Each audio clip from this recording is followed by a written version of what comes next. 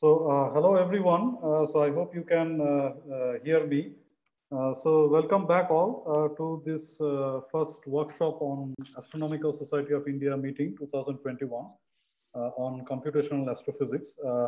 so we will start now with session three, focused on simulations of galactic and extragalactic scales. And we have a very diverse set of talks over here by four speakers, which range from star formation uh, triggered by magnetic fields to astrochemistry, uh, to significance of mathematical models and the art of approximation, and then on cosmological radiative transfer simulations. So uh, today, uh, the first speaker of this session is uh, Professor Robi Banerjee, who joins us all the way from Hamburg. so a great, you know, thank you, Robi, for joining us for, for, from in this time. Uh, we would have been happy if you had been around physically, uh, but uh, thankfully for you know for these strange times. But we are still happy to hear you on your recent research. so Robi, as some of you may not know, so he is one of the main developers of the Flash code for many years now. And he also maintains a diverse set of interests on molecular clouds and star formation, radiative transfer, uh, cosmic magnetic fields, of course, uh, many things. Uh, so I would give the uh, charge to uh, Robi now. Uh, and the title of his talk is Star Formation Triggered by Magnetic Fields. so Robi, just wait for one or two minutes so that we can just start on time. And you have 20 minutes for the talk and then five minutes for discussion session. Uh, so at the end of 18th minute, I will just ping you on chat, okay, saying that you have two minutes left and things like that. And uh, I encourage all the participants to write the questions either on Zoom uh, or there is a Slack channel. Uh, so please put it there on session three and we can take that up uh, as and when we get time. Uh, yeah. So over to you, uh, Robi. okay, yeah, thank you. Thanks for the invitation. I totally agree. I would love to be in, in India this time as well um, yeah, you know, we have winter here right now. And, yes. Uh, it, it, it wouldn't hurt to get some, some sun eventually. Um, yeah, thanks for the invitation.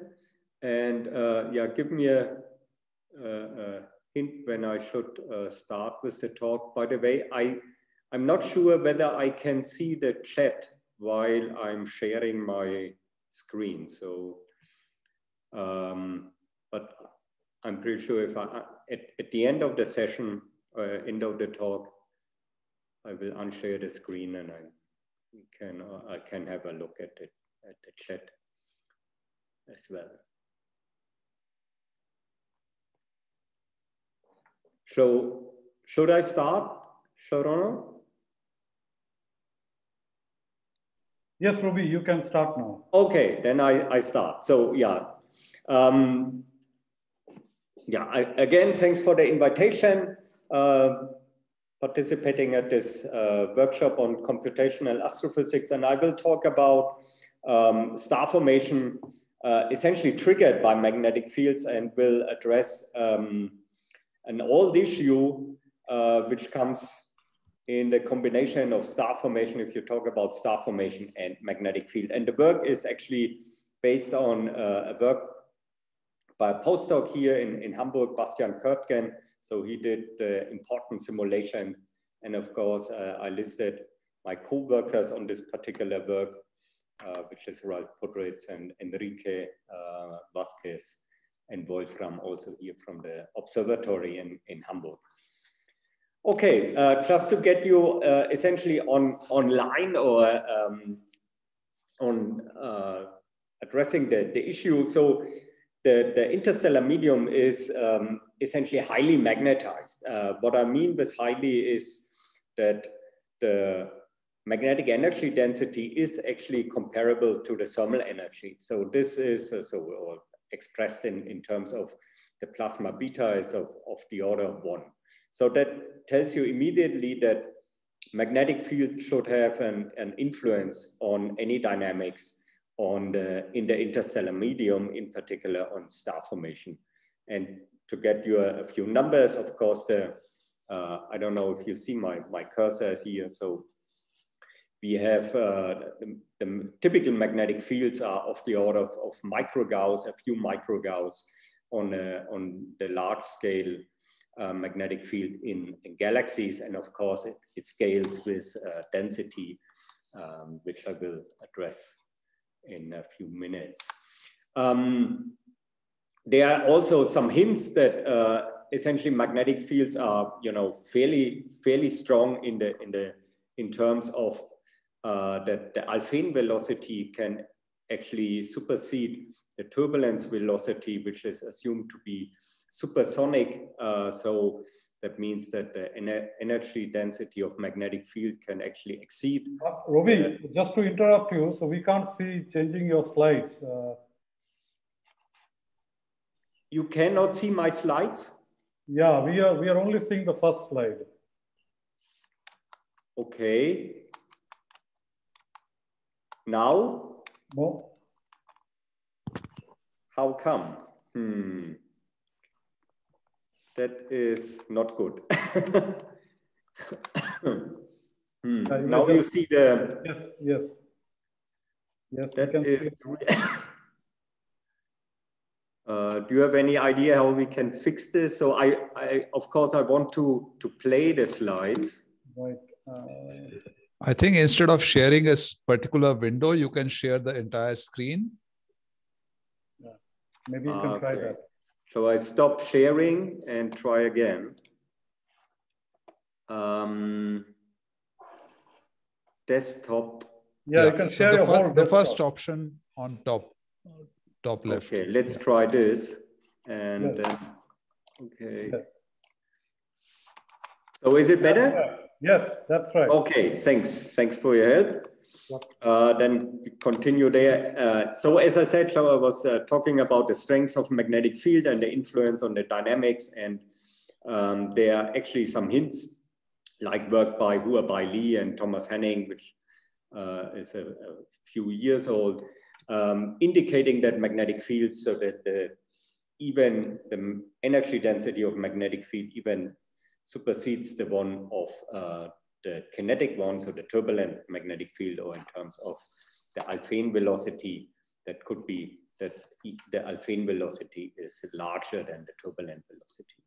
Again, uh, that is a, essentially a hint that magnetic fields should be dynamically important for uh, the interstellar medium. And uh, for our own Milky Way, I just present uh, uh, this seminal work essentially going back 20 years, so the, which is called the um, Millennium uh, Arecibo um, survey. The Arecibo telescope unfortunately is broken, as you might have heard. Um, and this work by uh, um, and Troland, for instance, they, again, they indicate a median magnetic field of the order of microgauss, or of a few or six microgauss. So that means the, the large scale magnetic field uh, in the Milky Way is, uh, is a, uh, as I said, so is of the order of uh, about six microgauss. And this work is based on um, essentially uh, the, the Zeeman effect on the 21 centimeter line. So the neutral hydrogen um, atomic neutral hydrogen. Um, yeah, here again, that's the uh, abstract of this work, uh, again, with a medium magnetic field of about six microgauss. Just to put this in, uh, in context, um, yeah, I like this picture very much. So this is an, an observation by or an um, data reduction actually from the Planck survey, which is uh, of course, aimed to um, measure the fluctuation in the cosmic microwave background, but they had to do a, a, really good work on foreground sources as well. Hence, they have to deal with um, the contamination from their side on the coming from the galactic, from the, from the Milky Way. From my side is essentially um, I would say that, you know, here we can see some very useful uh, results actually from coming from the Planck um, survey uh, instead of, you know, pinning down the cosmological parameters to a precision value. So this is uh, gives you a little bit an, an visual impression on the dynamic again on the of magnetic field on the interstellar medium uh, by seeing this uh, stri uh, striations here. So where you can um, more or less see that the magnetic field is following, sorry, that the gas is somehow following the magnetic field structure in the galaxy. And if you zoom in a little bit uh, on, on molecular scale, what you find typically is that the magnetic field is, a, um, is essentially aligned perpendicular to the dense structures and uh, parallel to the low density structures, uh, which is analyzed uh, comparing numerical simulations by uh, Fabian Heitsch, for instance, with the uh, Planck polarization data. And uh, this picture fits actually fairly well on the idea of uh, how uh, molecular clouds are forming somehow by streams of atomic gas, which are so low density gas following the, the field lines and eventually um, in the intersection regions, they get compressed uh, and uh, this is how we think you find these structures that the magnetic field in the dense region is essentially perpendicular to the elongation of these molecular clouds, the denser molecular gas. So that is, again, a dynamic impact of magnetic field by the formation of, um, of molecular clouds. And of course, if you zoom in in denser regions, you find a stronger magnetic field. So here's, for instance, um, indication of the, of the magnetic field strength going back to the Chandrasekhar-Fermi method of about a couple of hundred um, microgauss in uh, IRDC, so uh, very dense uh, regions where we think massive stars will form. Uh, here's another uh, example. So this is what a famous example of an IRDC, an in, infrared dark cloud. Um, called the brick, so close to the galactic center. Uh, and here you, we find, of course, with higher densities, stronger magnetic fields, so in the, in the order of uh, milligauss even. And this is uh, uh known for uh, many objects. So if you could zoom in or look at denser regions, the magnetic field also uh, the magnetic field strength also increases. And um, so this is again a compilation essentially uh, of uh, by, by um, Dick Crutcher of uh, on the on the one hand uh, on the on the left hand side in this plot the low density region uh, you find this um, 21 centimeter analysis so the H1 gas the atomic gas and on the denser regions here you find the, um,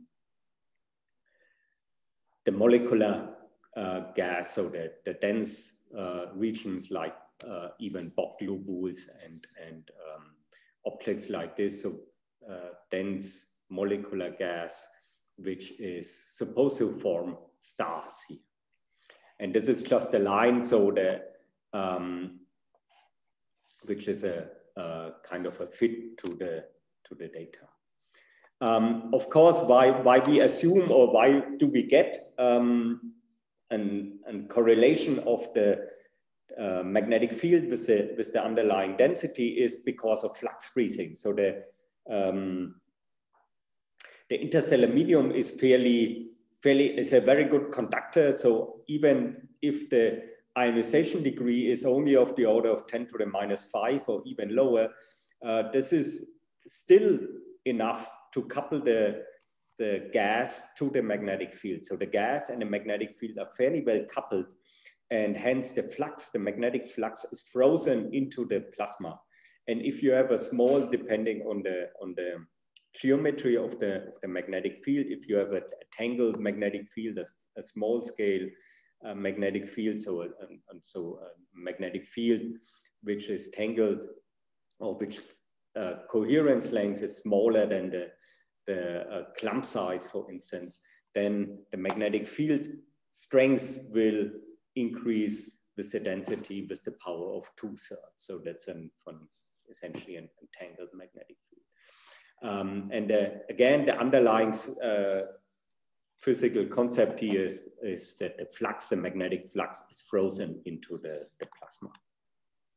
Um, and this is important in, in connection with uh, star formation. You have an, on the one hand, you have an, an conserved quantity. And uh, by the way, uh, I, yeah, the, the flux is also a conserved quantity. I, I, didn't mention this, but this is of course important. Uh, the magnetic flux is a, in a, in a uh, plasma which is well connected to the magnetic field. The flux is frozen, is a constant. And uh, so is the mass, of course. The mass is also a, a constant in an uh, enclosed system or in, in, in a closed system. And uh, from these two quantities, you can essentially build um, a quantity which is called the mass to flux ratio. Again, this is a quantity which is conserved.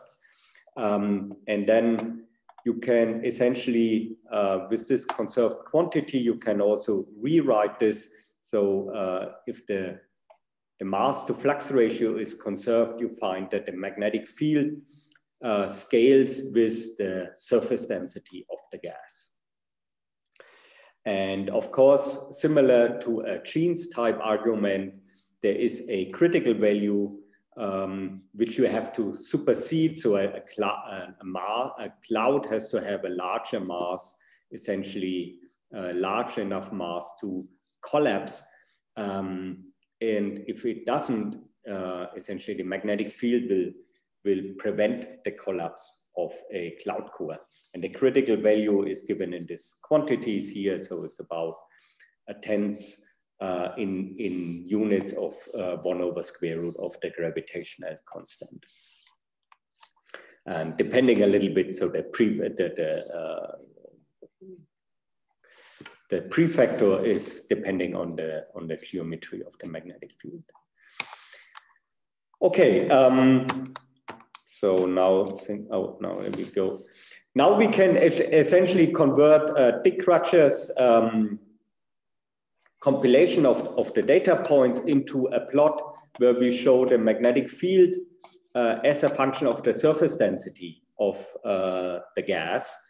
And uh, because then we can also put in this critical value for the, for the magnetic field or the, the uh, mass to flux ratio in this plot and um, divide essentially regions which are subcritical. So all these data points you see here on the left-hand side above the criticality line, they cannot collapse. So they cannot collapse because gravity or its mass is not sufficient. Um, and if you compress the gas, um, the only thing you can do is essentially walk parallel lines to this uh, supercriticality uh, line here. So, but you cannot, because this would violate this uh, mass uh, mass to flux ratio, this constant mass to flux ratio, you cannot move these data points from left to right, for instance. You cannot cross uh, this line. So in, in principle, if we go back to this idea that uh, our um, uh, gas, the H1 gas is the, you know, pre are the precursors for the, for the molecular gas, then we have to ask the question, and if we bring in the H1 gas to form collapsing molecular structures, then we have to ask the question, how do we get these data points essentially over here in the, in the supercritical regions, otherwise we wouldn't form stars. Um, yeah, and we did, we sent out and, and, and did a couple of simulations, uh, very idealized simulation of so-called colliding flows. Um, where you can put some numbers and in particular, um, the, uh, you, you find regions if they are long enough, if you have enough gas essentially on the, on the kiloparsec scales, uh, so about a kiloparsec, then these gas, these coherent gas flows of H1 gas, that is supercritical. And if you look at smaller regions, they are essentially not. Um, And this is an idea essentially to bring in enough gas on kiloparsec scale. That is an idea going back to Leon Mestel, uh, who was, of course, working even in the 50s with, with Spitzer on, the, on this um, mass to flux ratio. And he was wondering how we can essentially form stars in magnetized, out of the magnetized medium. And um, he was first working essentially on, uh, on ideas of ambipolar diffusion, but he uh, realized that ambipolar diffusion, so essentially on um, somehow in, in, in, a moving flow, in a neutron moving flow, that you reduce the, the flux um, of, the, of the magnetic field because uh, the neutral gas is of course not coupled to the magnetic field. And, um, but he himself, so Leon Mestel, uh, realized that is not efficient enough. So ambipolar diffusion is essentially not uh, sufficient enough or not efficient enough to accumulate supercritical cloud cores. And there's a couple of other uh, ideas on, on, connected to turbulence or uh, reconnection, so uh, changing the essentially the geometry of the field lines. So I will show you um, some movies here on this colliding flow simulation. Unfortunately, they don't work quite well, where you see on the left-hand side a supercritical configuration. We form stars, and on the right-hand side, it's barely um, subcritical, and hence we see only a few stars, or essentially more or less fully suppressed star formation. And we also uh, did simulation with ambipolar diffusion. Uh, again, on the, on the left-hand side, you see ideal. So uh, the ideal case where uh, star formation is uh, suppressed um, or there's only very few regions essentially due to uh, a little bit of ambipolar diffusion or a little bit of numerical diffusion in this case. And on the right-hand side, here you see the, the result essentially uh, you see simulation with ambipolar diffusion, and it doesn't help, as essentially Mestel already uh, pointed out, that is not sufficient to form supercritical uh, cloud cores. Um, Robbie, you have two more minutes. Uh... Two more minutes. Okay, then we have to jump to the simulation, uh, to the solution.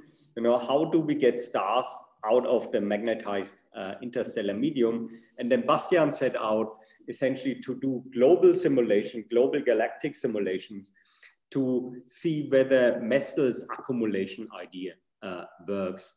And uh, indeed, uh, this um, animation worked a bit better. I think what you see is that we form, so this is a fairly strongly magnetized um, region or a magnetized galax galaxy, disk galaxy. And nevertheless, we do form uh, high density clumps which are supercritical and can form um, stars.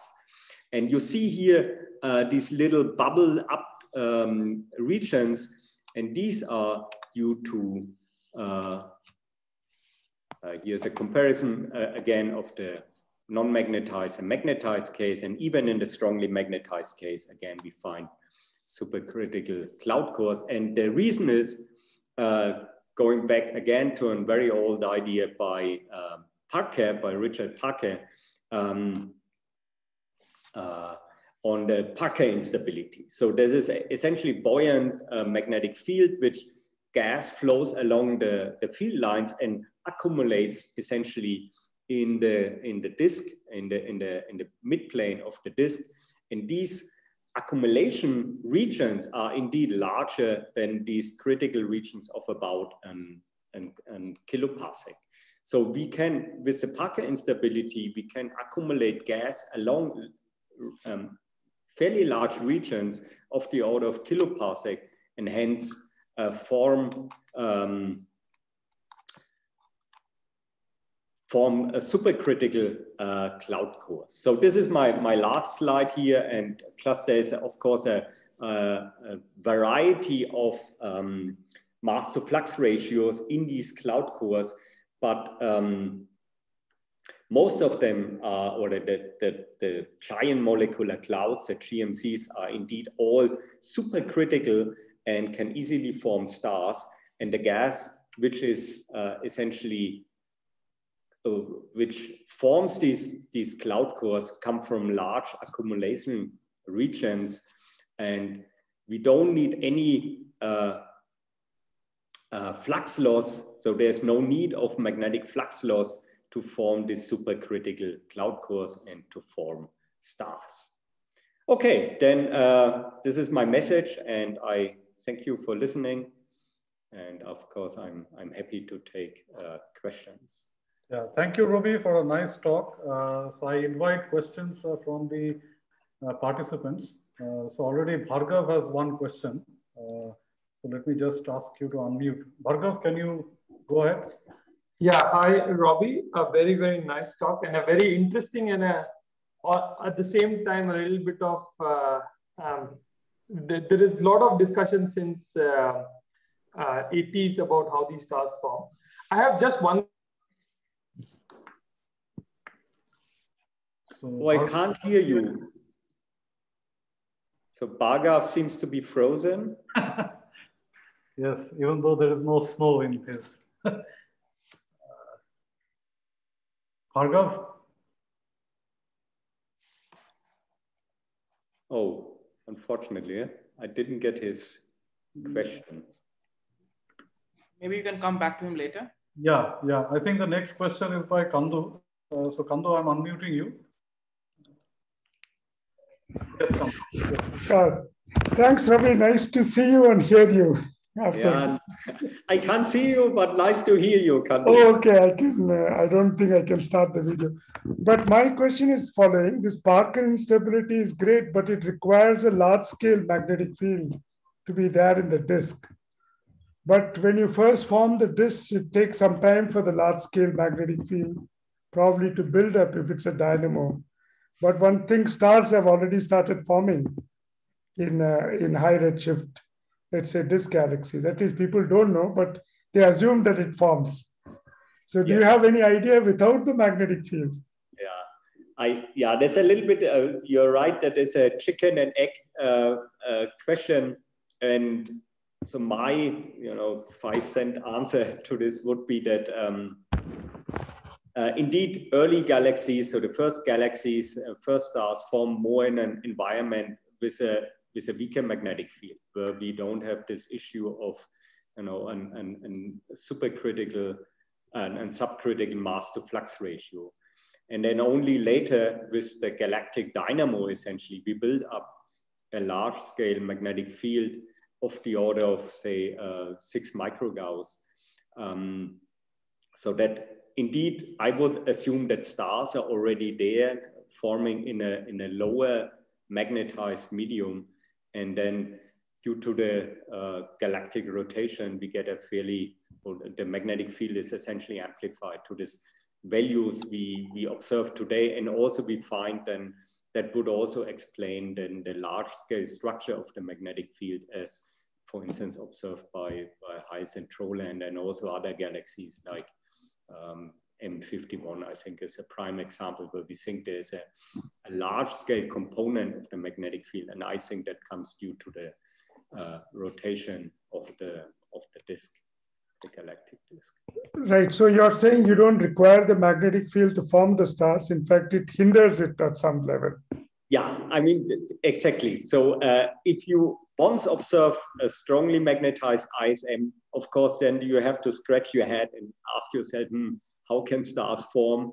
Uh, overcoming essentially the this uh, condition of becoming supercritical, uh, but only then. Um, and before in the so the, the first first galaxies and first stars form most probably in an environment which is not as strongly magnetized. Thanks, Ravi. Yeah, uh, before I get to the next question by Dibyendu, uh, there is a question here from, I think, a student, uh, Somo Gupta. Uh, so Robi, he asks, uh, can you please elaborate a bit about the difference between subcritical and supercritical star formation? Um, going back to the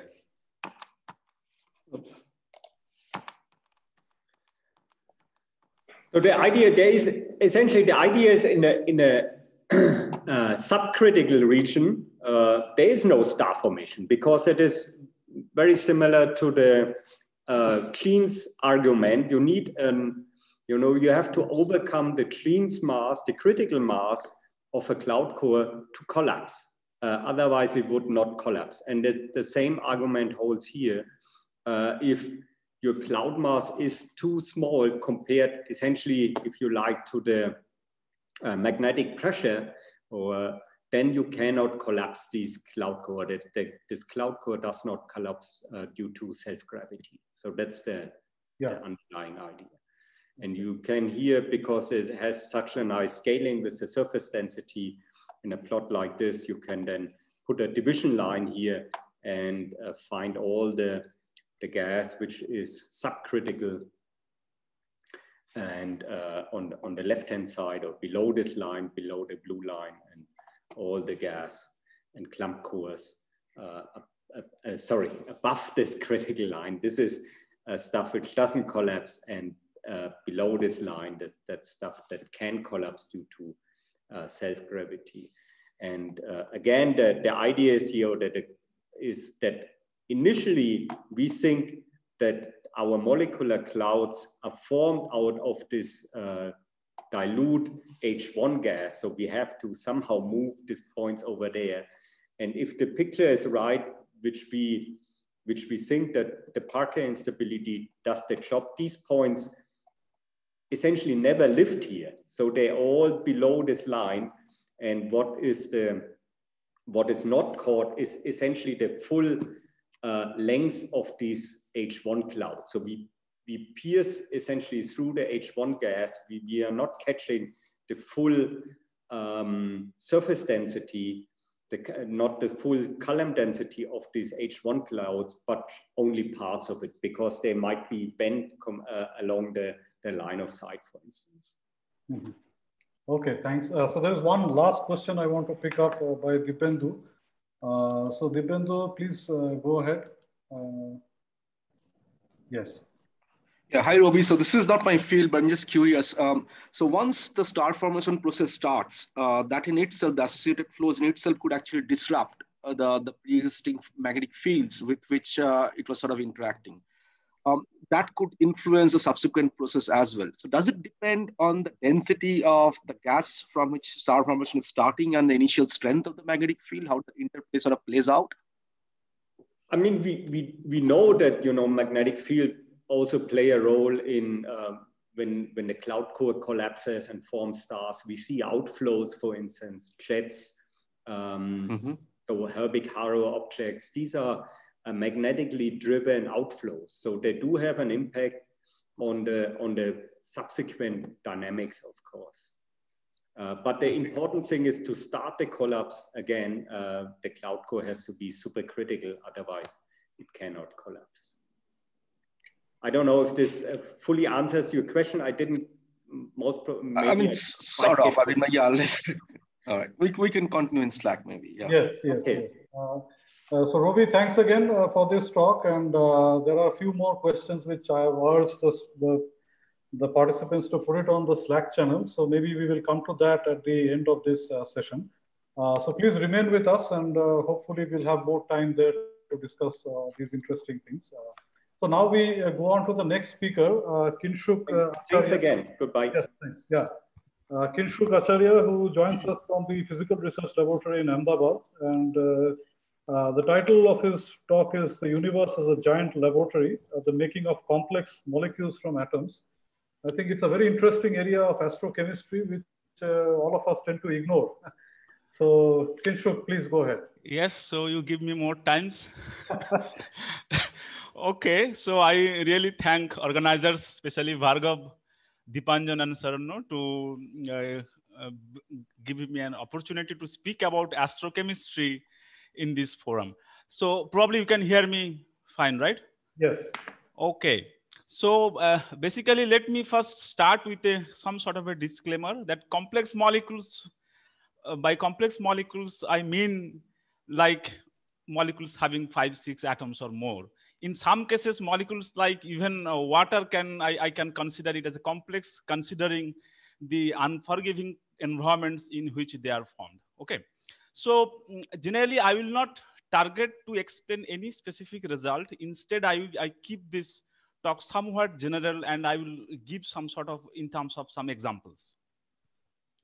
So let me start with some perspective. So I think this is a favorite uh, uh, uh, image for all physicists. So I'm not interested in the lower part. I only want to point out three events like initial Big Bang nucleosynthesis by which we got our uh, light elements like hydrogen, helium. And then the time when we start to form fast stars and galaxies. And that is the time uh, after which we start, rather after the death of these stars, we start to get other heavier elements like oxygen, nitrogen, carbon, etc. And finally, another time scale, so around say uh, about 3 billion years when actually star formation peak. So that is the time, actually after that, uh, we expect to uh, get large amount of heavier elements like oxygen, uh, nitrogen, carbon, etc. in the uh, in the universe so that we can make bigger molecules. Also that, that, is, that, that is our starting point. So let me now show the periodic table. This is a very interesting in the sense that this periodic table shows actually the various processes by which these elements are formed. So I will not bother you. Uh, generally, astronomers' periodic table is much shorter. Uh, my is even shorter. So I will only show like carbon, hydrogen, nitrogen, oxygen, phosphorus, sulfur, which make up most biological molecules on Earth. So only thing I want you to uh, express is that, so you, you get H very quickly, but after that, you get hydrogen, uh, rather oxygen, uh, oxygen from uh, these uh, exploding stars. Okay, so if you just look at, now if you think about it, so you will get oxygen much, the large amount of oxygen much earlier than carbon and nitrogen because this carbon and nitrogen, they are actually formed in the in the dying low mass stars. At least bulk of them they form. So and the low mass stars have large lifetime. So as a result, so if we go back in time, we expect other than hydrogen, more oxygen than carbon and nitrogen. So therefore, probably it is uh, very apt that probably we start to form molecules like water pretty early. And this is our present uh, uh, solar system abundances in solar photosphere. You can see here, even here, you have more oxygen than, than carbon. So now let me start with then water. So this is uh, actually the earliest evident, uh, probably one of the earliest evident where water is detected in a galaxy which is like 11 billion years old. So water is pretty simple in that sense if you look at the star forming region. So this is the Orion Nebula and you can see zoo of complex molecules. So once again, the complex means not so complex in terms of origin of life molecules, but it is still pretty complex. So not only that, if you look at the star forming region close to the galactic center, the Sagittarius B2, which is only 130 parsec away from the center of the Milky Way, you see host of complex molecules, probably even including amino acids. So not only that, uh, the, these molecules are found in exotic astrophysical conditions like envelope of AGB stars, AGN disks, even starburst galaxies. Not only that, so if we just go about the exoplanets, so I'm sure you have already uh, already know that you start to start finding molecules there as well. And if you look at the the the uh, diversity in the physical conditions, it is quite uh, evident that you will very soon will start to detect many more complex molecules, probably someday biosignatures. Not only that, these molecules are found widespread in the solar system, uh, like Earth, Mars, their at atmospheres, comets, like even in the now you can see from the Rosetta measurements, you find that a lot of organics are found in the comet. Not only that, they are also found in meteorites. So in meteorites, these complexity is actually, it, it's really very complex. You see all sorts of complex molecules there. So in reality, the chemical evolution is kind of a, from a non-living system to uh, the living system, it is like a continuous process. And you start with initial very diffuse interstellar medium. Generally you go to a little bit denser medium like dense clouds then uh, protoplanetary disk comets asteroids and then you come to the planetary systems like earth where you see organized structures. So this is kind of a continuous process. So therefore it is very important in terms of like origin of life problem. But these molecules also gives very important, uh, like they are actually, uh, you can actually probe the physical conditions in these regions where they are found. So therefore the study of these molecules are of uh, paramount importance. So I will mainly concentrate only this part, like uh, interstellar medium, then star forming regions a little bit, and then the comets. So now let me, uh, uh, I think by now I have convinced you that the study of these molecules are very important. So now let me start how they are formed. So main ingredients are, so as I have said, you have, you know, this is, there are gas, but there is also dust. So dusts are actually very important ingredient in the scheme of things, which you will realize in upcoming slides. So then I, I, will, I will also have like energetic radiation, like UV, cosmic rays, and things like that. And molecules are formed both in the gas phase and also on the surface of the dust grains. Now let us take a interstellar medium. So if you come into the diffuse medium, which is like very uh, low dense, like one particles or even less per cubic centimeter. If you go into the denser region, it is like few thousand. And uh, in the outer edge, you get stellar radiation from various stars. And in the deep inside the cloud, you get radiation from the, the newborn star. So now, if you just think about generally in a, where the stars are formed, it is in the dense clouds, which is like 10 Kelvin. So now in this environment, all the elements are like moving randomly. So let us consider the hydrogen, which is the most abundant species. So now at some point of time, even it is 10 Kelvin, it has a thermal velocity, it will move around and it will uh, actually, at some, of, some point of time, it will collide. And if you look at a density like when you have like one per cubic centimeter, the typical time scales is like 15,000 years or so. Now you replace one hydrogen by say one oxygen, and this time scale becomes million years. So typically to molecules to form, we need somewhat denser medium, like few hundred to thousand per cubic centimeter. So, and of course, since these regions are very cold, we only can form some mm, reactions which are important are the exothermic reactions that you don't need heat to produce them. And also we don't want reactions having any barriers because there is not much energy to overcome that barrier. And these molecules actually, uh, these, these processes actually not only form, they can also destroy molecules.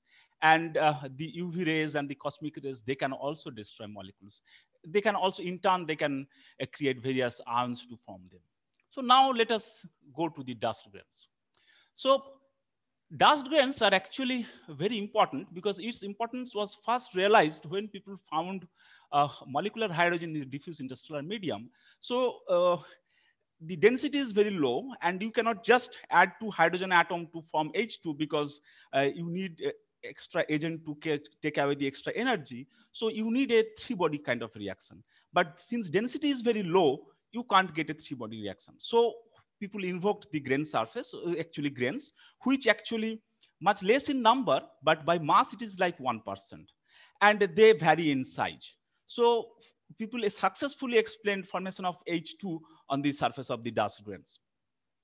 So if you just see that what is the typical time scale of uh, uh, landing, uh, the, accreting these atoms to the grain surface, if it's a little bit in a denser region, like I take a region like 10 to 4 per centimeter cube, it is about 100 years.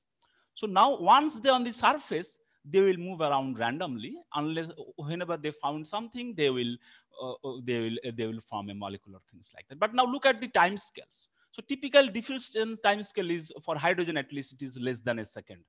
Uh, and then mm, you can actually find out this. I will not go into the detail of the how you calculate rates and things like that. Basically, you sum of diffusion rates for from the each individual species, and then you uh, it is proportionally, of course, the number of species there, and of, of course the reaction probability.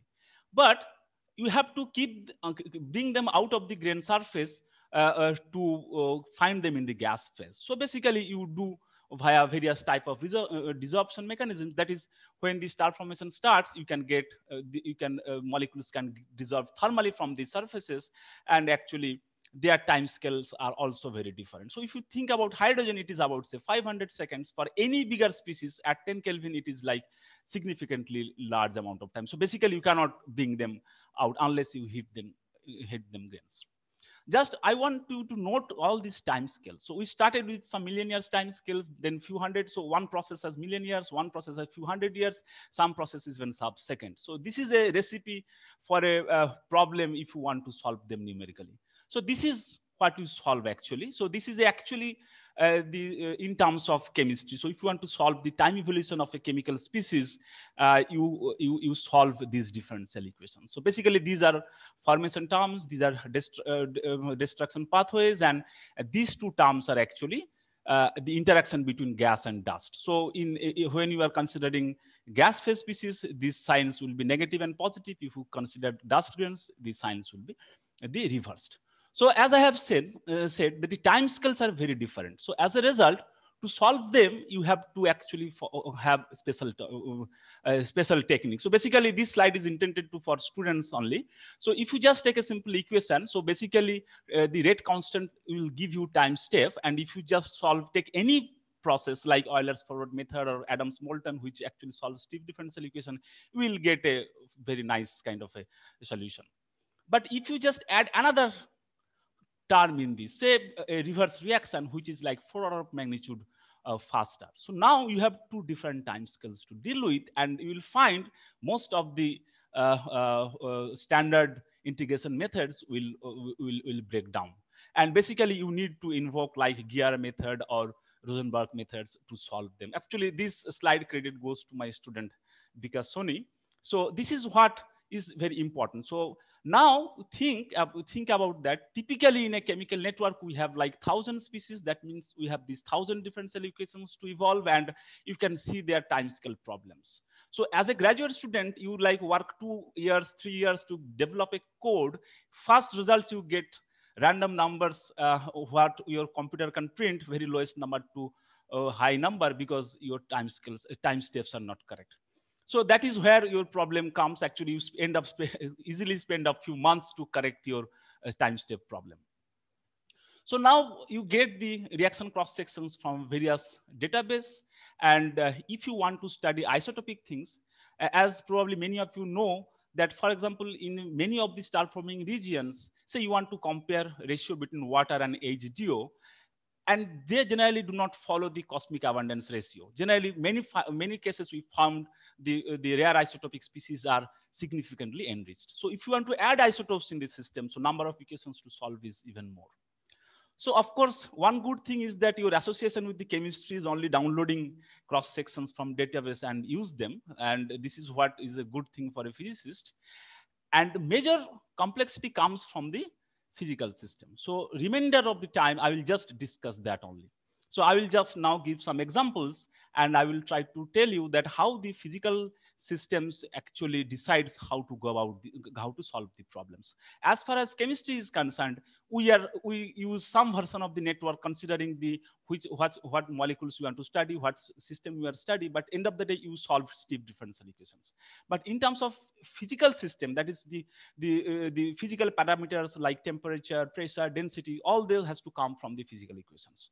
So let me start with one example. The first example I will show is about star forming regions. So now if you look at a star forming region, you will find the large variation in actually at least temperature and density. You can see, so you start with diffuse clouds, uh, which is very low density, have uh, UV radiation, then you go to the dense cloud, which is only 10 Kelvin, and it is shielded from uh, all the radiation except cosmic ray. Then you have a very exotic class of objects which we call hot core, which actually this is the object where we get more com most complex species in the um, in the star forming phases. And then of course you can also model protoplanetary disk. So I will start with the dense clouds because these are the easiest objects to simulate. So basically these are basically almost kind of physical conditions are almost static. So you start with some temperature like dust and grain temperature about 10 Kelvin and Uh, with a large visual extinction. So there is no UV and there is only cosmic ray. And these are uh, the elemental abundances. So except hydrogen, which actually comes in the H2, because in the dense clouds, almost all H is in the form of H2, and other elements, you mostly take them in the ionic form. Of course, there could be a small variation in that also. So now if you uh, add the, all these uh, constraints, physical constraints in your system and you solve these thousand uh, uh, uh steep differential equation, you get an output like this. So this is actually in x-axis you see time and in y-axis relative abundance. So relative abundance, any abundance will express in terms of total hydrogen. So this is how the time variation of various species uh, can can be look like. So you can see that uh, they will their formation peak formation time scales are different actually they will form in the different time scales. So you get a output, then what you do? Actually, you try to compare them with the observation. So this, I no need to uh, look at this table in detail, but look at the only the the bold numbers. So they're actually uh, those numbers are not ma matching actually. So that is you are not able to match with the observation. So but you can see you will agree that for most species you can uh, match with the observations reasonably well. Of course, after that you actually also try to fit see that how good your uh, fit is. So you uh, test a goodness factor and you see that like around 10 to the power 5 years, you can match best. This is the collective matching of all species that you observe. So now let me come to the diffuse clouds. So there, uh, uh, uh, in some sense, they're very difficult in the sense that your density is very low. And if your density is low, then you cannot use any rate equation approach. So as of now in dense clouds, I was using like average values. Because say you have four grains and two hydrogen atoms, on an average you have like 0.5 hydrogen atoms per grain, grain, but you cannot form anything because they are not physically on the same grain. So what do you do? So you actually do either Monte Carlo method or master equation approach. Basically, you deal all the processes probabilistically. So in addition to this, we also have stellar UV to deal with. So for example, so whenever a stellar radiation comes and fall on a grain surface, so you see that there are various sizes of grains. And this is basically kind of a stochastic heating of the grain. So you can see that different grain size will have different temperature. And actually you see these spikes in uh, as soon as a photon hits this grain, depending upon their size, you see a spike in temperature. So that you have to incorporate in the your physical system. And it is uh, extremely challenging. Actually, some of these codes takes actually months to run because uh, your time scale for hydrogen diffusion is very fast, but all the other processes are are slow and also random and also your time scale for star formation is also very large. So what you do, you actually do a, uh, Monte Carlo kind of technique. So basically you, uh, you uh, uh, consider a square lattice and with a periodic bound boundary condition. So this is uh, my hydrogen atoms like these reds I will move randomly with a periodic boundary condition. You will see they will come and come here. And if you are following any particular H, they, they may not form H because they are moving randomly. Just look at the center of the screen here. So I uh, saved some favorable uh, things. So you will see that uh, uh this in the center part here actually in some this region. So you will form some, some H2. So this is this molecules, uh, these atoms moves randomly and when they recombine, they form a species.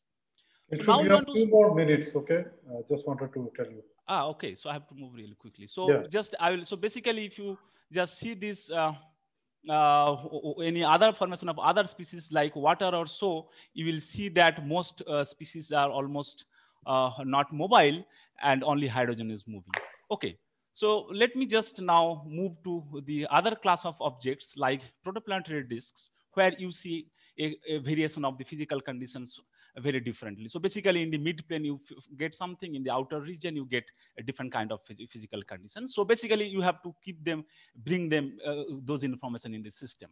So what you get actually, you form, uh, you, you take a, you run a hydrodynamic equation uh, model or you also or take from the observations and then you see that how your uh, uh, abundance are evolving. So just this is as a function of radial distance. So you can see just follow the blue one, which is water.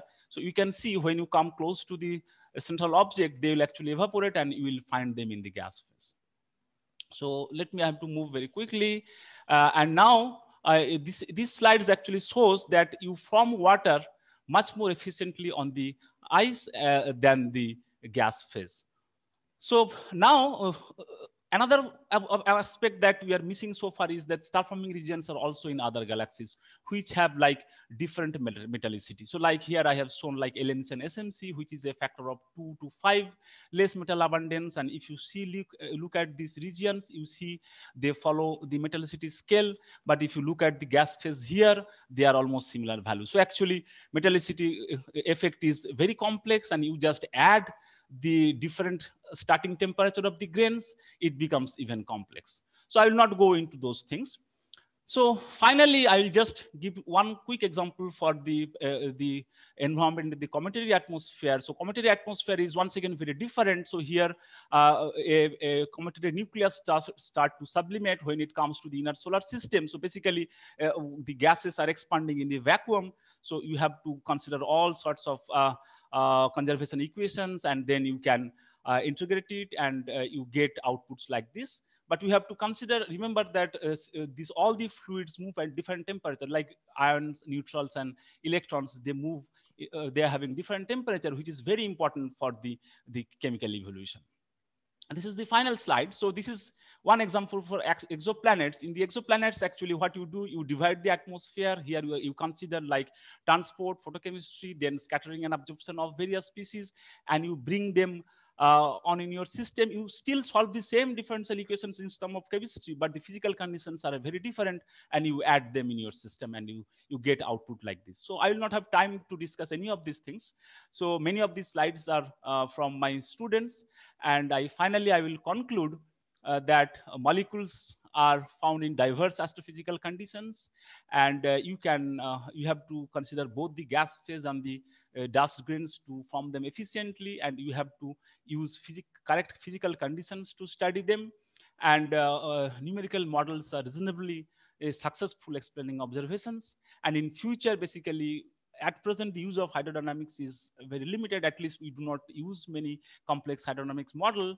And in terms of chemistry we also have to go long way uh, towards building uh, complex uh, molecules of life and then, of course, at some point of also we have to study like biosignatures in the exoplanet atmosphere. So I will now take questions. And once again, I will.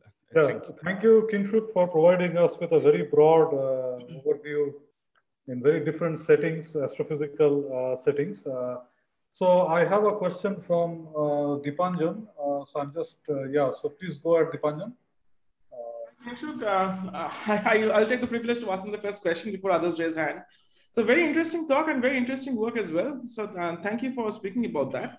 Now with the advent of millimeter astronomy, now with ALMA and IRAM and others, we have a vast amount of data that's coming in showing wherever there's CO10 maps everywhere.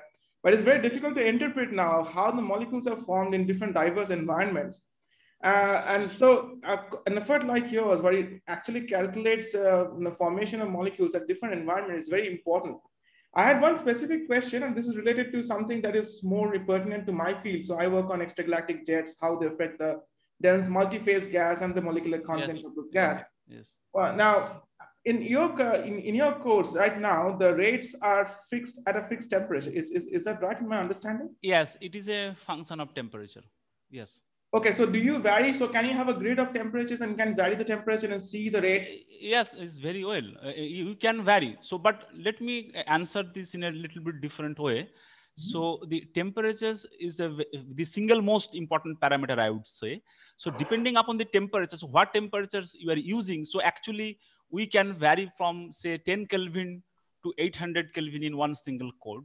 But if you want to go like few thousands that is easily used in the exoplanet atmosphere so you have to take a different network so it depends which molecules you want to study which physical conditions you want to target say for example if you go to the higher temperature the reverse reaction becomes very important so I that see. that also you have to count which doesn't occur very easily at 10 kelvin well, so I had a question those... for uh, temperatures of a few thousand, but I think I'm uh, going beyond the time, so I'll write to you separately later. Yeah, but up to at least 1,000, 2,000 can be manageable.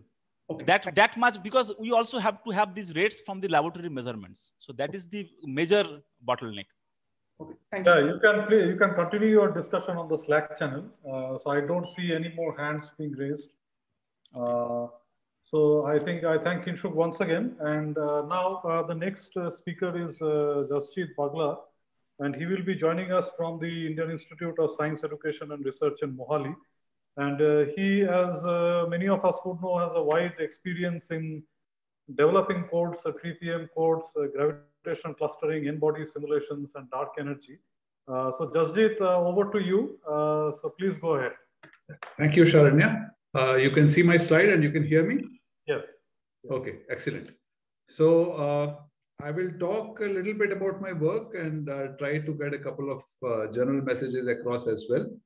Uh, so much of my work has been on cosmological n-body simulations where the uh, physical setting is that we have an expanding universe and uh, there is small amplitude of initial fluctuations, which means that you can easily start with analytically expressible uh, initial conditions from linear perturbation theory uh, then there is a Newtonian limit of the uh, Friedmann-Lemaitre-Robertson-Walker metric. Uh, we deal mostly with non-relativistic matter and uh, gravity as the most dominant interaction. Of course, there are variations around this. For example, if someone wants to deal with the neutrinos, they have to work on it separately, and there are many, many different techniques which have been developed. But I will be uh, considering mostly these things in the first part of my talk. So the earliest attempts which people made, which was about uh, uh, almost 50 years ago, was to try and simulate isolated regions with open boundary conditions, taking, of course, uh, uh, recourse to Birkhoff theorem, saying that if I have a homogeneous and isotropic universe and I create a shell inside that, then the outs anything outside of that uh, spherical shell does not influence it in any way and therefore I can just simulate this part. Uh, the downside is that if you do that, uh, you have to discard things which are very close to the boundary. And uh, as you all know, much of the volume is actually near the boundary, and therefore you end up wasting a lot of uh, your resources. The equations which one has to solve are essentially uh, uh, the gravitation interaction and uh, typically people work in co-moving coordinates and the expansion of the background comes in. And interaction is purely gravitational. One can either compute it as a sum of forces uh, uh, due to all the other particles or via gravitational potential. Direct summation scales as uh, order n square. And that makes running simulations with large n kind of difficult, although a lot of effort had been put in into uh, using FPGAs uh, in, in uh, 19, late 1980s and 1990s uh, on this one. Uh, periodic and, and that effort kind of continues and has been scaled up to fairly, uh, large particle numbers. But if we take generic computers or uh, GPU based computers, then the direct summation approach has not been used for at least not for cosmological n-body simulations. Periodic boundary conditions are required as the universe has an average density and this cannot be emulated in open boundary conditions without wasting data near the boundary. So the equations are basically the ones which I've written over here. Uh, one will of course need something additional because uh, one has to connect up uh, particle positions which are given by vector x. I have omitted the subscript i which will run over all the particles and the density contrast delta. So there has to be a connect over there, but that can be set up quite easily. It is set up differently in different codes, and that is why I have not uh, written that part here. The first serious approach for cosmological n-body simulations was made by R.H. Miller uh, in this uh, paper back in 1983. Uh, these were simulations with 64 cube particles. You can, of course, run these simulations on your phone now with lots of memory to spare. But at that stage, this was the kind of cutting edge which, which was possible. Uh, and he uh, did quantitative study of power spectrum correlations and uh, velocity statistics for a variety of models. Uh, keep in mind that uh, we are talking about 1983, where it was not clear what kind of initial conditions one should use. So people used all uh, a wide variety of initial conditions. We also didn't know what kind of a universe we live in. And uh, Einstein de Sitter was a generic simple default, uh, which everyone uh, tended to use for most of these studies. So this was the first study and he got some fairly interesting results. Uh, this was quickly followed up by other people. Uh, now, the particle mesh method uh, per se is adapted from uh, plasma physics simulations, where it actually works much better than it does in gravitation because uh, you don't have an instability. Uh, you have Debye shielding and therefore densities don't build up as much in plasma, non-relativistic, uh, non-relativistic plasmas as they do in gravity. gravitational potential and density in this case is computed on a mesh and the mapping between particle positions and uh, mesh uh, is done using weight functions like uh, Cloud-in-Cell. It's very fast when uh, fast Fourier transforms are used, but uh, the downside is that use of a mesh limits force resolution and uh, mesh and weight functions also end up introducing anisotropies in force. So this is illustrated in this plot on the right, which is from one of my papers going back about 24, 25 years. So what is plotted on the top is the uh, RMS uh, dispersion in the radial component of the force uh, as a function of R. Units over here are uh, basically the grid length. So one refers to grid length. I have not plotted the average deviation here. That is easily modeled out. But uh, one can see that, and, and this is done for three different types of weight functions. I mentioned Cloud-in-Cell over here, CIC, that uh, is shown by the uh, long dashed line, which is in the middle. So you can see that the RMS dispersions are of the order of 10%, uh, and they continue to remain around 10% for quite a few grid lengths. And because you have anisotropy of the mesh and weight functions, you end up having a transverse force component as well, which is not there in uh, Newtonian gravity. And that too kind of peaks somewhere between one and two grid lengths and then gradually dies down. So these issues were, uh, of course, studied uh, around the time when particle mesh simulations started getting used in uh, gravity. Uh, but what people were more worried about at that stage was that the dynamical range was limited because use of mesh limits your force resolution the force starts dipping below 1 by r square somewhere around a scale of 1 to 1.5 grid lengths. And if you're doing 64 cube sim simulations, that is a serious limitation. Uh, 64 cube simulations, then it's a serious limitation. So first major effort came uh, in 1985, uh, P-cubed-M or particle-particle particle mesh code. And uh, what Efstathiou, Davis, Frenk, and White did was to say that, all right, we have a particle mesh code. We know that the average force between two particles dips below 1 by r square. And uh, what we will do is we'll just add a correction so that it does not dip below uh, 1 by r square and continues to be like 1 by r square to much smaller scales. This can uh, improve dynamic range of simulations very significantly.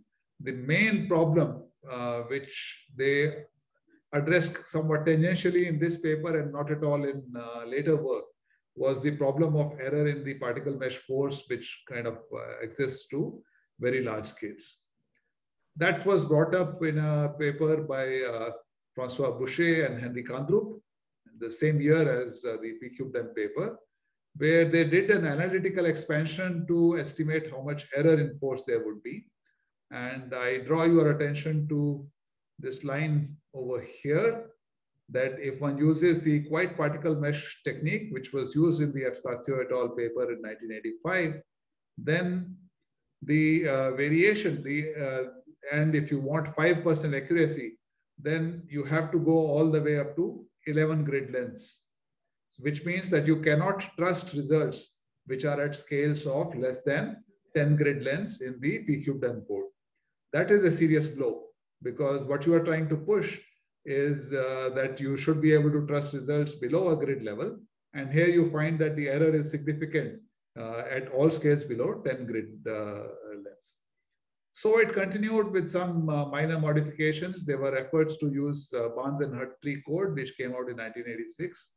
Uh, Hernquist and Francois Bouchet, they applied it to cosmological scenario. Unfortunately, it does not, the uh, TreePM, the, the tree code does not uh, naturally have a periodic boundary condition and folding that in itself brings in quite a, a, serious amount of error. And tree codes are known to be somewhat slow, even though they scale as n log n, they are nowhere near as fast as uh, particle mesh codes. So uh, I suggested a way out uh, about 20 years ago. Uh, the, the, original version of the manuscript was written in 1909. Uh, it kind of remained in limbo and finally I submitted it uh, later in 2002 where it was published in JAA. So the way it works is this, that I have to solve the Poisson equation, which is shown as the first equation on top right in Fourier space. Now, what I choose to do is to divide this, uh, the, um, the right-hand side into two parts. And uh, they will add up to what is the desired, whatever is the desired uh, expression. And now I want to solve for these two things separately, calling one as a long range potential, the other as a short range potential.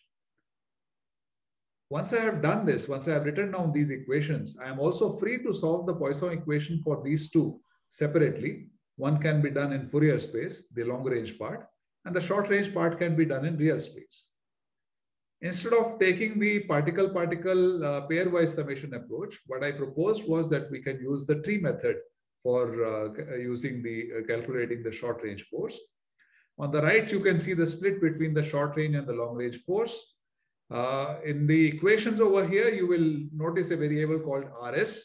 That is a tunable parameter, and we can choose its value uh, to either have uh, high speed in the code uh, eventually, or low errors, or both.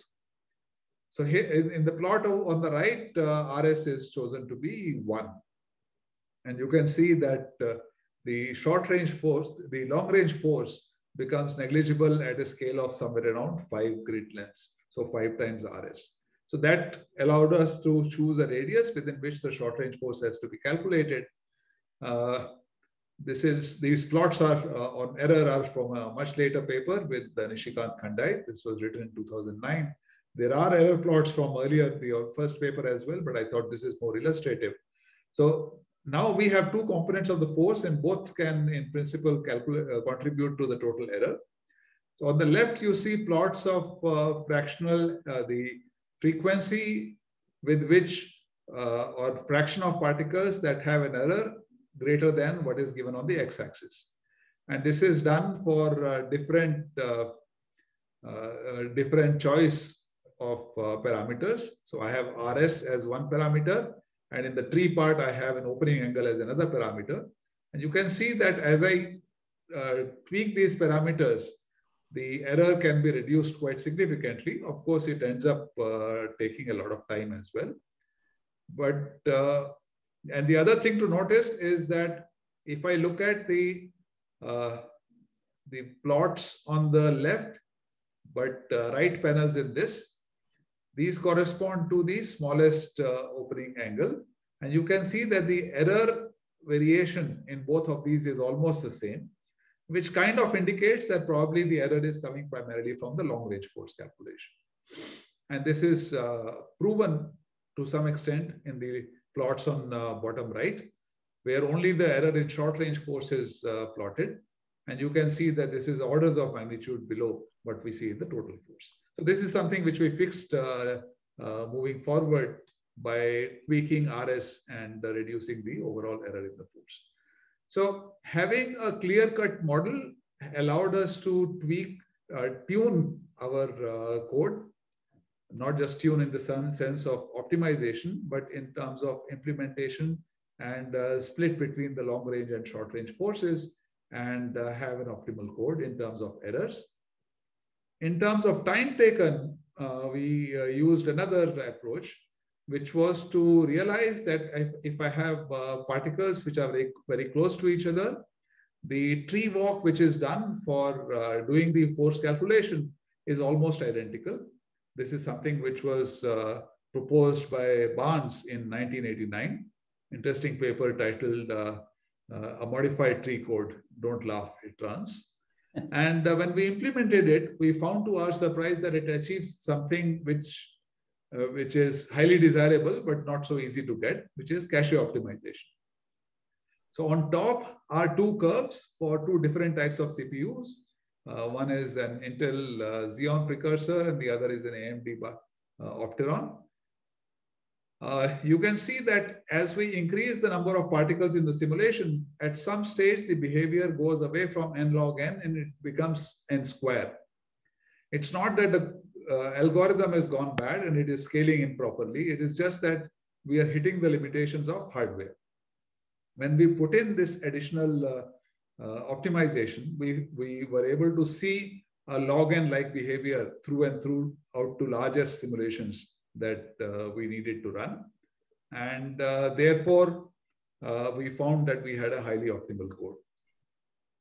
This code was used for a number of applications. I'll just show you a glimpse of one. So what is shown over here is from a simulation which used uh, 10 to the 8 particles. This is dated 10 years ago, uh, done with the Nishikant Khandai. We were uh, looking for developing an understanding of uh, clustering of galaxies that may be seen in uh, redshifted 21 centimeter line. And uh, what we found was that uh, the, the, the, clustering of such galaxies was much, much stronger uh, in our models as compared to clustering of dark matter. So the thick black line shows the initial fluctuations in uh, dark matter, initial power spectrum of dark matter scaled linearly to this redshift. The red dashed line shows the nonlinear dark matter power spectrum at this redshift. And the dot dashed blue curve is the uh, clustering of galaxies uh, as computed from, uh, as estimated from our model for uh, the uh, redshifted 21 centimeter line. So we, we argued that the clustering is much, much higher uh, at small scales and this was later on proven to be uh, so from independent uh, studies using the HALO model. And uh, because of this, the, the uh, attempts to target very large scales and statistical uh, detection may not be the best ones. It may be possible to detect uh, sing, single large agglomerations of neutral hydrogen in the universe. So this is something which we proposed by using this particular method. Now I'll give you a summary for this part and move on to another part where I'll try to highlight uh, another uh, uh, work recently. So one is that a mathematical model for the problem is essential for estimation of errors and having tunable parameters permits tuning of error control and CPU time required. Uh, this is uh, absolutely essential and wonderful. And if you have ad hoc approach, then the results can be uncertain and also uh, you, you don't know how to take the next step in some sense. Because if you have a mathematical model at the first step, then you can tweak that, you can add to it, you can add uh, refinements to it. But if you are already at an ad hoc approach, adding things can become very, very hard. And optimizations need to be aligned with capabilities of hardware. Uh, the work which I have described was done in collaboration with the two former students, Suryadeep Ray and uh, Nishikant Khandai. Now I come to something which we have been doing in the last uh, four or five years. This is uh, some relativistic simulations. And the question that we wanted to address was, uh, does dynamical dark energy affect structure formation in its nonlinear stages? Is there a signature of the type of dark energy models in structure formation and hence galaxy clustering? And what is the response of dynamical dark energy to nonlinear perturbations in dark matter? As uh, there is no non-relativistic analog of dynamical dark energy models, it is not possible to kind of plug them in simply in uh, n-body simulations. Uh, parameterizations, which are based on equation of state parameter and speed of sound, can be used in linear perturbation theory. And uh, therefore, we needed to do relativistic simulations to address this particular question. And we felt that even if the answer comes out uh, negative, it is still something which is worth knowing because then it will justify using simpler techniques. So general relativistic calculations are hard even for the simplest of problems. So what we did was to simplify it and uh, worked with spherically symmetric uh, collapse of dark matter. This reduces the problem to one plus one dimensions. And uh, we thought that like the spherical collapse model of Gunn and Gott 1974, it should offer us enough insights to uh, figure out what to do next or figure out enough about uh, the questions which we are raising at this level itself. So step one, which we wanted to do was to study a class of dark energy models.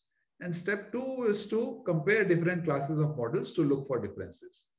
And any comparison has to be done for the same expansion history in order to avoid confusion. Why do we want to do this kind of a comparison? Well, one can show, and it was shown about 20 years ago, that you can take any class of dark energy models as long as your uh, measurements are only based on distances and scales, uh, the answers which you get depend only on the expansion history and not on which class of uh, dark energy model you are using. So that essentially means that you can uh, have uh, tens of thousands or even millions of uh, supernova type 1a observations. You can uh, plug in CMB observations you can plug in uh, BAO observations, you can do all of that. But the only thing which you will figure out is what is the expansion history. You will not have a clue as to which model of dark energy is the real model. And whether you will not be able to rule out any class of dark energy models on that ground. So therefore, uh, it is important to ask question and uh, these questions and look for observables which may depend on the type of dark energy model that you have. So the first uh, work was published about uh, two, two and a half years ago. Uh, this was done with my student Manvendra Pratap Rajvanshi, where we looked at uh, the canonical quintessence uh, models. So we worked with the Tolman-Bondi okay. metric. Is there a question? Uh, no, no, I just wanted to say you have two more minutes. Okay, it should be done. Yeah. Yeah. So the so this is the Tolman-Bondi metric. And uh, uh, we have uh, equations for the metric coefficients. We have the continuity equation and we have the equation for the scalar field. And what we did was to work with initial perturbations which are compensated so that at large scales, we can match up to the solution in the uh, Friedmann model.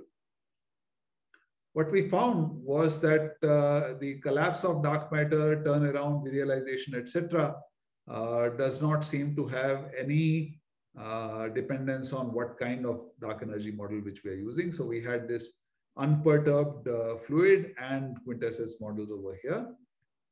Dark energy did seem, does have uh, perturbations and uh, we also see variations in the equation of state parameter. Uh, small, but we still see them. And these were interesting results that we had. And we, we found that if, we, if the dark matter perturbations are at larger scales, they induce larger dark energy perturbations as compared to high amplitude perturbations in dark matter at smaller scales. So this was another thing which we addressed. So these uh, key results were uh, listed in the lower part of the abstract. Uh, I have already said most of this, so let me skip ahead. Then we wanted to have a comparison with another uh, well-defined class of dark energy models. So what we did was to develop a technique for uh, uh, finding out the potentials which will give us any desired uh, expansion history for quintessence and uh, tachyon dark energy models. We also looked at interacting dark matter dark energy models. And then to compare with tachyons, we of course had to set up equations for them. This is uh, the analogous equations there. You can see that the field equation here is uh, far more complex. So this is uh, evolution of an underdense, initially underdense region. So essentially a void surrounded by an overdense region. And uh, there are curves here for tachyon model and for quintessence model, each of which is uh, tuned to give you a constant equation of state parameter. Values for the parameter chosen were minus half, minus 0.9, and minus 0.975. You can see that in terms of dark matter clustering, there is uh, absolutely no change, no variation with the class of model. Uh, variations in uh, dark energy perturbations for uh, W greater than minus one, you can see again the same set of models. You can see that for minus 0.975, the tachyon and quintessence models coincide. As you go towards minus 0.5, they develop differences, which means dark energy perturbations have differences depending on which model, you, which class of models you are looking at. And that may, in principle, be a key. However, differences between these models diminish for uh, 1 plus W much less than 1, and hence prospects for differentiating between models using characteristics of perturbations are limited in our universe. So summary for part 2, uh, at least spherical collapse of dark matter is not affected by the type of dark energy and only depends on expansion history. And this is uh, bad news from the point of view of trying to figure out which dark energy model is the correct model. But it is good news in the sense that if now if I want to run n-body simulations for any dark energy model, I just have to take uh, smooth dark energy and that expansion history and I'm through. Perturbations in dark energy do depend on the dark energy models, but uh, we are plagued by two problems. The amplitude of these perturbations is anyway very small, and the variation differences are significant only if 1 plus W is large, and that regime is not allowed by observations. So thus we may conclude that we will not be able to use structure formation to pinpoint a model of dark energy.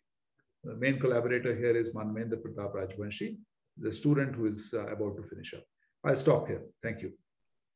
Thank you, Jasjeet, uh, for a wonderful uh, talk. Uh, so I invite questions uh, from the participants. So please raise your hand and then uh, we will take it up from there. and you can also put your questions in the Slack channel.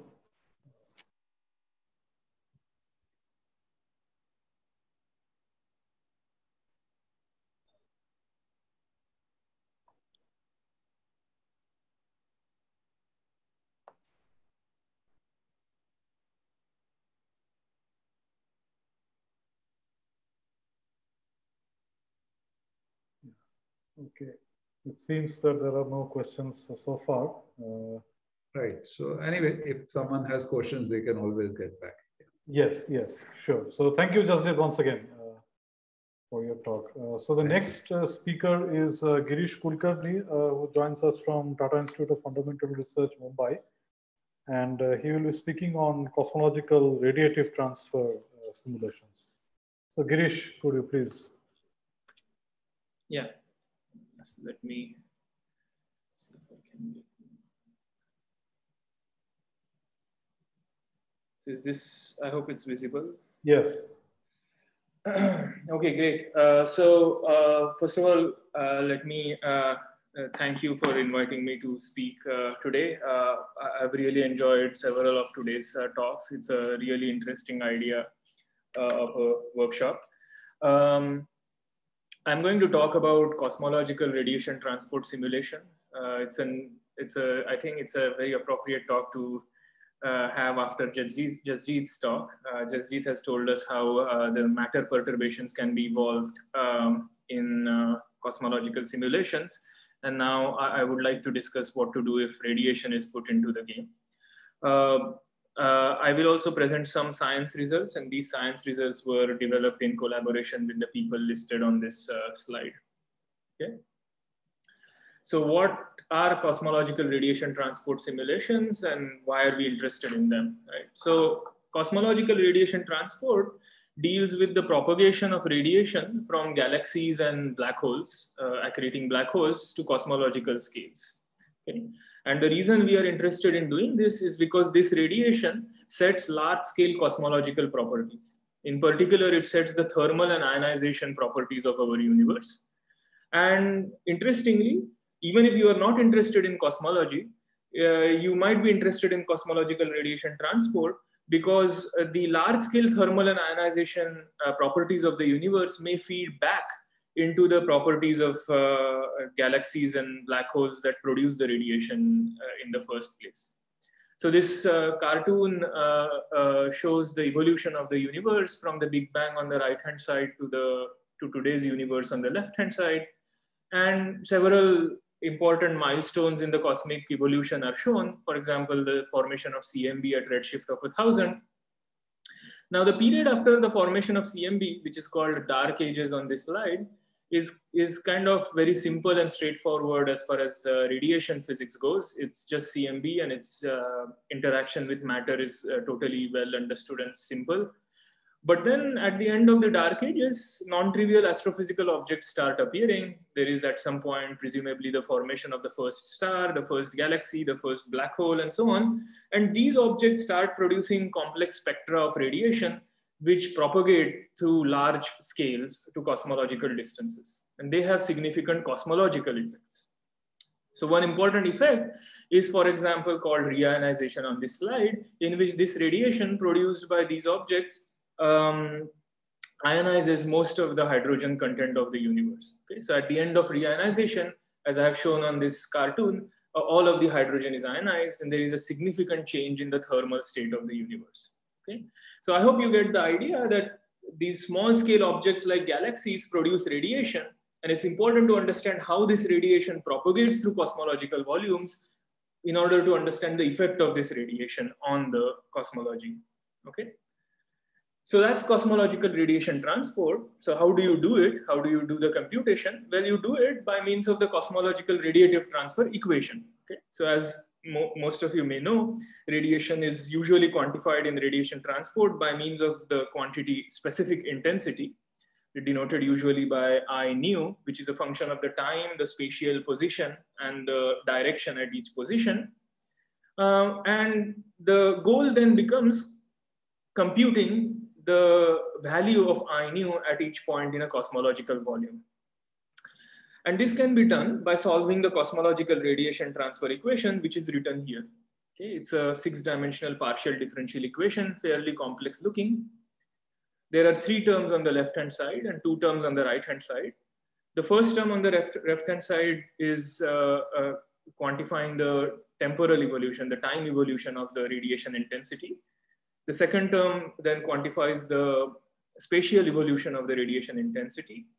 Then there is a big third term um, which brings in the effects of the expansion of the universe. And then finally on the right hand side, you have these two terms, two important terms in which this term J nu is the sources of radiation. Okay? The emission of the radiation, the uh, uh, processes that produce radiation, and the quantity minus kappa nu I nu uh, which quantifies the absorption of the radiation by matter distribution in the universe. So in other words, if I specify J nu and kappa nu by means of a cosmological simulation, such as those, for example, which we saw in just Jasjeet's talk, I could then plug them into this equation and hope to solve this equation at every point in a cosmological volume to get my I nu. Okay, and that would be a successful computation of the cosmological radiation transport. Now it's this, doing this is hard there are two main challenges. One is the problem of dynamical range. Okay, the cosmological effects that we are talking about is at scales of tens to hundreds of megaparsecs, but the radiation is produced and even absorbed at scales of parsecs or kiloparsecs, very small scales. Okay, so for example, here I'm showing a density slice from a cosmological simulation at redshift of about six, you want to calculate radiation effect on these scales, 80 megaparsec over edge. But the radiation that is, but that radiation is being produced on scales which you can barely resolve on this slice. That's one problem. How do you fit the problem into a computer, right? That's, a, that's why you need a lot of nodes for these simulation. And the second problem is the speed of light problem, which is that radiation moves very fast. So you need very small time steps compared to uh, gravity uh, structure formation, you need really small time steps uh, to evolve the radiation transport problem. So, so the computation becomes slow. So how do, what do we do if we are faced with these two problems? Several solutions have been uh, devised uh, to sort of work around these challenges. And these solutions, I think we can classify in basically two categories. The first category of solutions is called ray tracing methods of doing cosmological RT. Uh, in ray tracing methods, you basically trace rays from sources to each cell in the cosmological volume. And the property of ray tracing methods is that their execution time generally scales as the uh, product of the number of cells and the number of sources.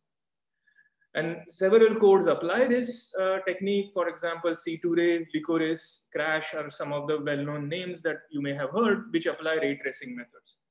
The problem, however, is that this dependence on the source number is challenging because in a cosmological volume, you have billions of sources. And in fact, each cell can be its own source because it can emit secondary radiation because of recombinations.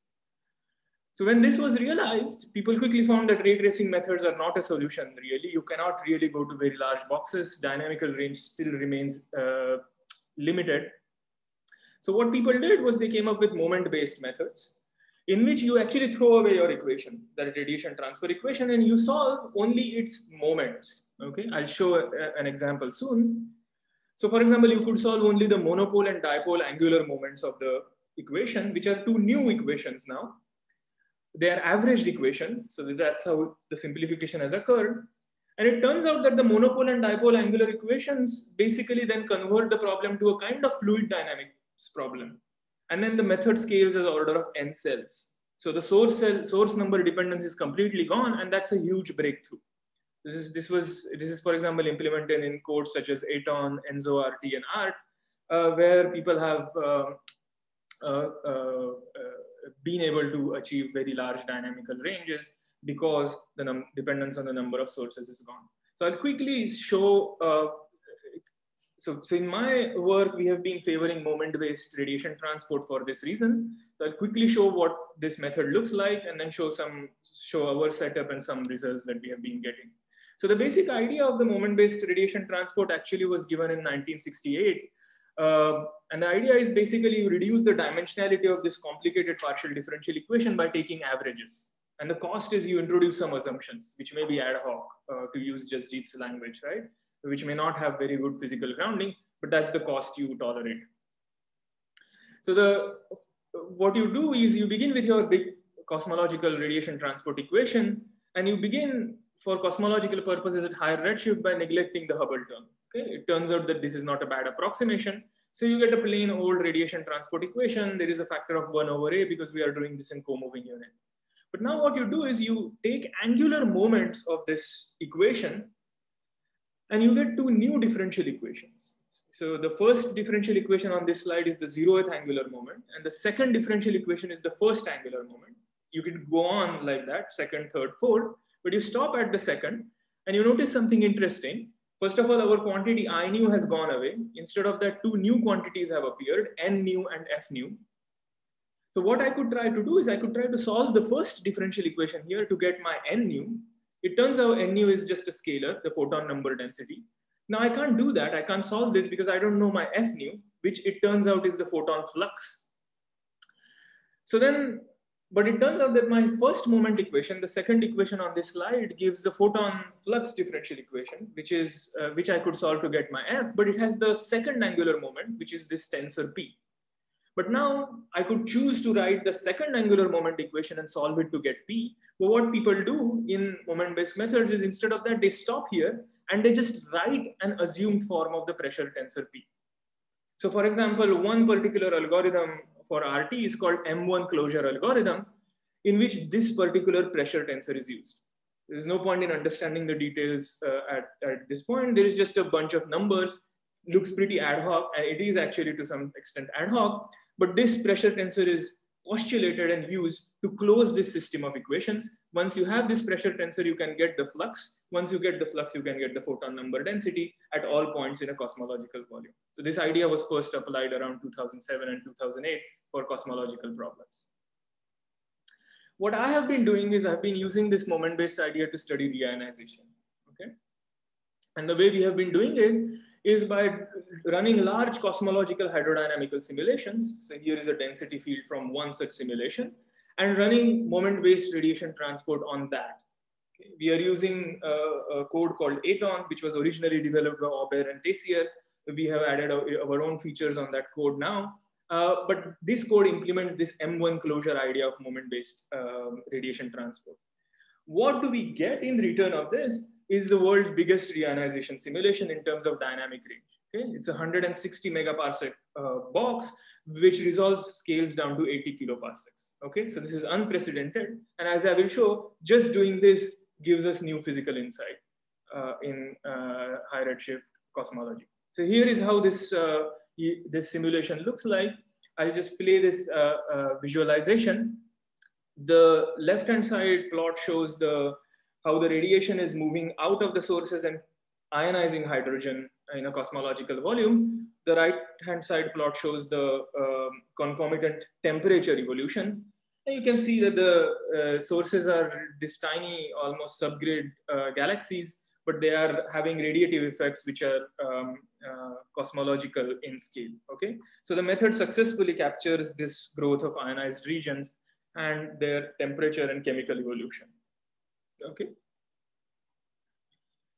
Um, what is really remarkable about the M1 closure, there are other moment-based methods available, but this M1 closure has a remarkable property that it is local. The radiation actually feels like a fluid in these uh, simulations, and therefore they are ideally suited to GPUs. And so we have ported Aton to GPUs, and this gives a significant acceleration in the code. So for example, this plot shows the executive uh, execution uh, time per time step as a number of problem size. Um, and the red line is how long it takes to do the problem on a CPU, whereas uh, uh, the blue line is how long it takes on a GPU. And you can see it's a, better than an order of magnitude improvement. Okay? We take about 700 GPU hours to do the kind of simulations I just showed in that animation. Okay, so it's amazing. We got a good RT algorithm, but then we also got this bonus of being able to use it on the GPUs. The scaling is almost perfect. The left-hand plot shows the speed up as a function of number of GPUs. The blue line is the perfect scaling and the green dots are the actual performance. We have now extended this out to 512 GPUs and it just keeps going quite well. And again, that's just a, a corollary of the local nature. The right-hand plot shows where the compute time is going. Um, and most of it is going in the radiation transport, which is good because radiation transport is under control thanks to the M1 closure. So that's uh, the concept of cosmological RT, uh, the challenges and the interesting algorithms developed to meet those challenges and how we are using uh, those interesting algorithms.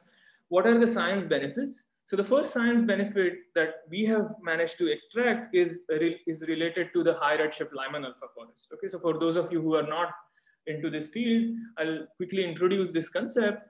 Uh, Lyman alpha forest is a feature you see in the spectra of some high redshift objects like quasars. So this is uh, shown in, uh, this is how real data looks like uh, for Lyman alpha forest in this plot, uh, which shows intensity as a function of wavelength, the spectra of two quasars. The bottom quasar is farther away. And you see that in this bottom quasar, there is this dense network of absorption lines, which is what is called Lyman alpha forest. Okay, so what's the big deal? The big deal is that this forest its structure depends on the cosmological density structure, the kind that Jasjeet evolved in his talk, and gas physics, the kind that I have been trying to study. Uh, so therefore, it's a very rich probe of various cosmological uh, uh, physics problems. And in particular, for people like me, it can offer clues to understanding uh, reionization. Okay. Now, one of the interesting features in the high redshift Lyman alpha forest was that at redshift greater than five, the Lyman alpha forest shows a very large spatial fluctuations. This was noted in real data in the last five, six years. Um, that Lyman alpha forest in one part of the sky is very different from that in the other in, in other parts of the sky. So on this figure, the left-hand side panel, the smaller panel, shows the strength of the Lyman alpha absorption or the opacity, tau effective, as a function of redshift in various spectra. And you see that it grows up it increases as a function of redshift.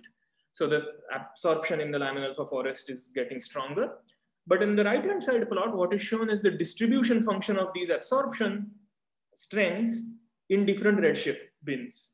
And you see that these distributions are not vertical lines. They are not step function. They are broad distribution, which means that the uh, opacity is spread out, as you can see in the left panel as well, over large ranges of values. Now you might say, okay, so what's uh, so uh, uh, important about that? It turned out that that was very unusual. None of the contemporary models in the last five years could explain that spread. It was not known why this happens at all. It turned out that when we did these M1 closure based radiation transport simulation, the simulation perfectly reproduced these spatial fluctuations. And so it, basically the idea was that uh, these GPU-based radiation transport simulation had achieved the sweet spot of a volume. They were truly cosmological and they were doable. They were feasible. So speed and volume uh, uh, were achieved to solve this problem. It turned out in, in terms of physics, the reason we have these fluctuations is because of delayed and patchy reionization. So the blue curves on this is our simulation and the red curve is the data. Okay, so here is another way of looking at the results from this simulation. These are light cones of evolution of various quantities from redshift 8 to 5. The top light cone shows the neutral hydrogen, the middle light cone shows the ionization rate, and the bottom light cone shows the temperature. And there is a there is a rich amount of physics here. I'm just showing this to you as an illustration of what these simulation produce. There is a lot of information on this slide that one can discuss if one is interested. One reason we got excited about this development, totally enabled by technology, GPUs and algorithmic development, M1 closure, was that we are now for the first time uh, approaching a concordant reionization model. Okay, so on the left hand side in this panel, I'm showing the evolution of the ionized hydrogen fraction in the blue curve in these simulations and compare it with various other observations at high redshift, and they all seem to start agreeing with each other. The right hand side panel shows the Thomson scattering optical depth to the CMB last scattering surface, and it agrees perfectly well almost with the um, uh, Planck uh, measurement. Okay, so suddenly the simulation the confidence in the simulation is not because we have mathematically shown that it's the correct solution, but it seems to agree with so much data. There are other benefits of the dynamic range. So this is the, for the first time we can start asking truly cosmological questions to astrophysics simulation. So here is one such result. It's about CMB. And this is a crowded plot, and I apologize for that, but it's a simple plot actually. What it is showing is the power spectrum of the so-called B mode polarization signal, signal of the CMB, okay? CLBB as a function of L. And the red curve uh, shows the amount of B mode polarization induced by the free electrons produced during reionization in these simulations in the CMB. And the other curves on this plot show primordial, expected primordial signals for various inflationary theories, experimental sensitivities, and current data. But the cool thing about the red curve is it's the first radiation transfer prediction of a CMB result.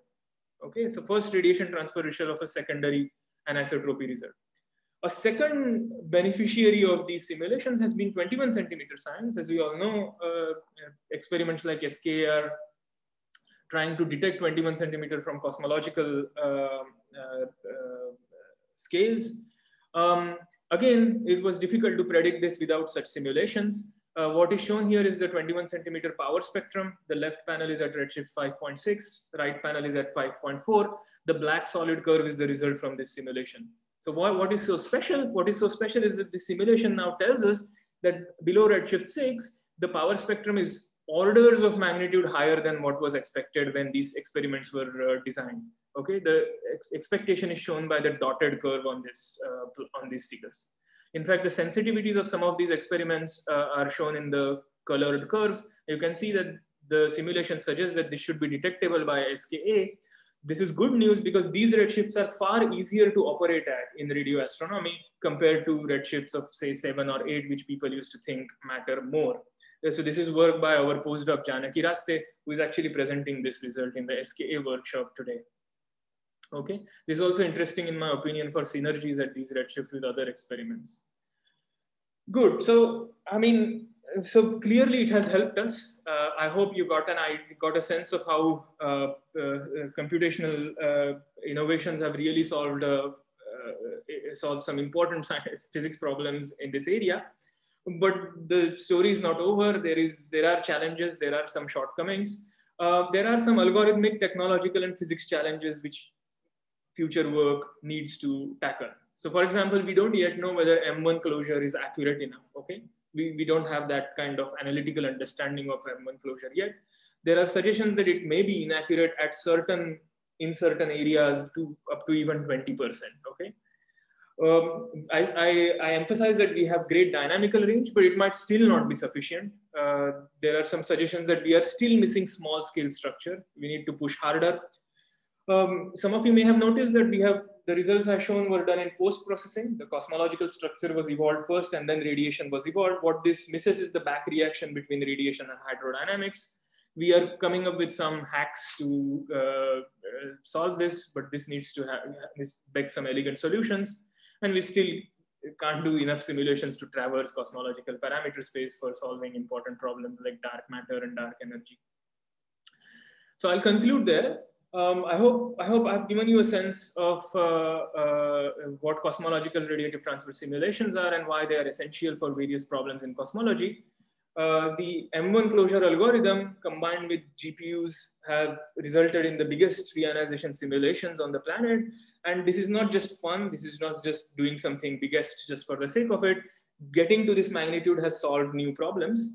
Uh, there are future tasks, uh, future problems ahead, both in analytical side of developing better algorithms and in terms of physics and technology in running these codes. We are currently running large uh, suite of such simulations on various national facilities. And I think, I'm not sure if this was mentioned today, but we are also experimenting in India of running these simulations on the commercial cloud. So I'll be very happy to discuss that uh, side of uh, HPC in India with people if they're interested. So I've got a bit above time. Sorry about that, but I'll stop here. Thanks. Okay, uh, thank you very much, Girish, uh, for an interesting talk and also for bringing up this issue of commercial cloud uh, application. Uh, so I, so we can take a few more questions now. Uh, so uh, please raise your hand if you can. Uh, Sharanya, as co-host, I cannot raise my hand, but can oh I yeah, please. yes, Jasjeet, please go ahead. Yeah.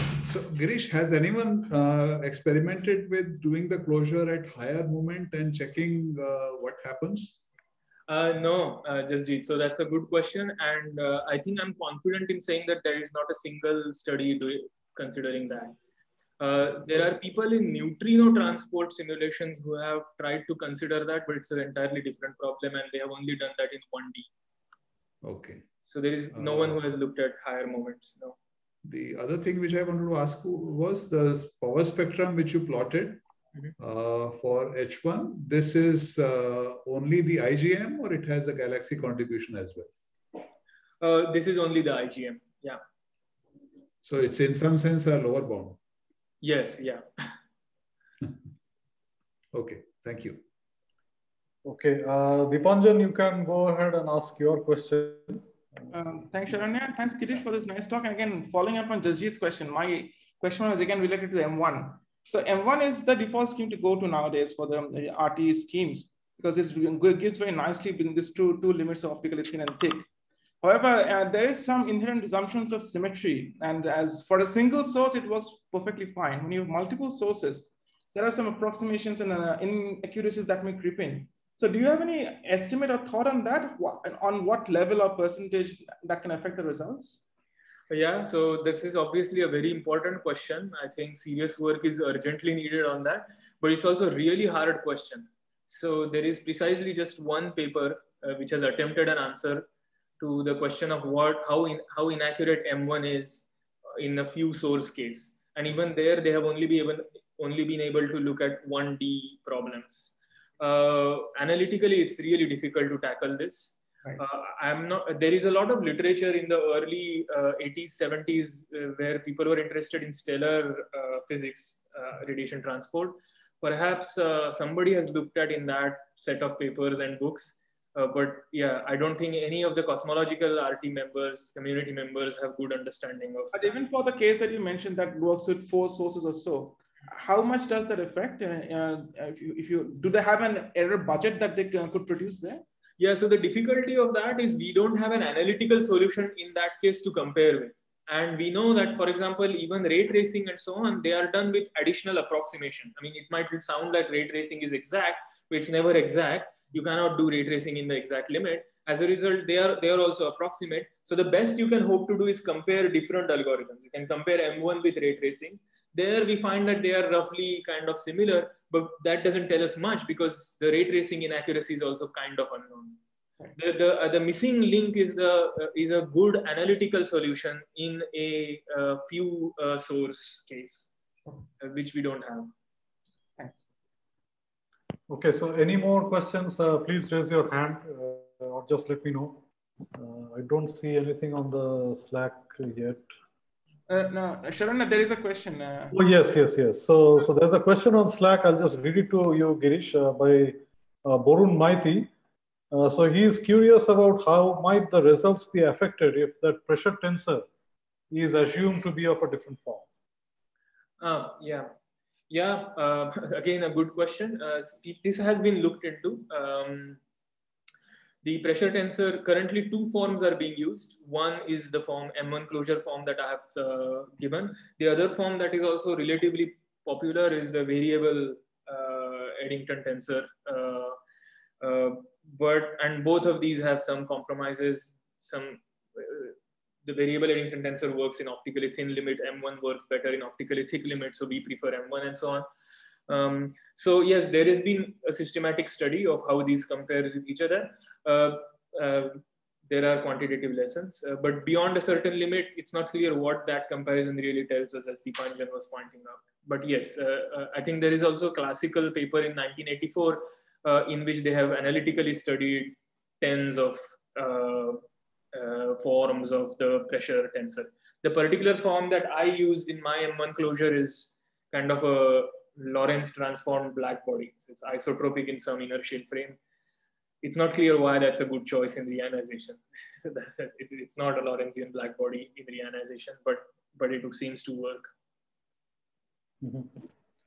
Okay, uh, so we have a few more uh, minutes until we take a break for the next session. Uh, so maybe we just continue on this uh, discussion and uh, people can ask questions on all the four uh, talks which were there in this session. So of course, uh, Robi had to leave because uh, he had a meeting to attend. So I will send him the questions by mail. so, so Girish, I just had one naive question. so when you're solving this equation for this radiative transfer, you see there are grid codes where in cases of star formation, so people make use of adaptive mesh refinement.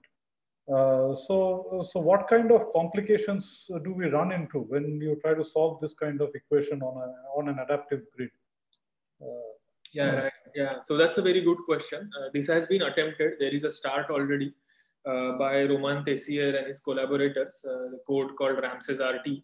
Yes. Um, I think the first challenge that you face when you try to do this adaptively is that of the time scale that I mentioned. The time scale is set by this delta x over c, the Courant condition, and uh, in adaptive schemes, the time step, time step can become so small that the whole problem will basically just keep stuck, right. it will remain stuck at lower levels uh, of yes. the adaptive scheme. Um, there are two ways in which this has been solved. One is you use different time stepping criterion at each stage. Um, and the second way is coming up with clever combinations of implicit and explicit techniques. Um, there's a lot of active work. I'm not sure if there is a clean consensus yeah. in which one can say that this is the way to go. I think people are sort of groping uh, uh, for the moment for the best way forward. But Ramses RT has kind of uh, made a start. But yeah. maybe I'll just uh, briefly pinch in here. So on this, if time scale Girish is the main uh, criteria that is um, that is a bottleneck, I, I think uh, Ramses RT also has a reduced speed of light option also yeah. implemented somewhere. So does that help in uh, alleviating some of the things or it's equally bad?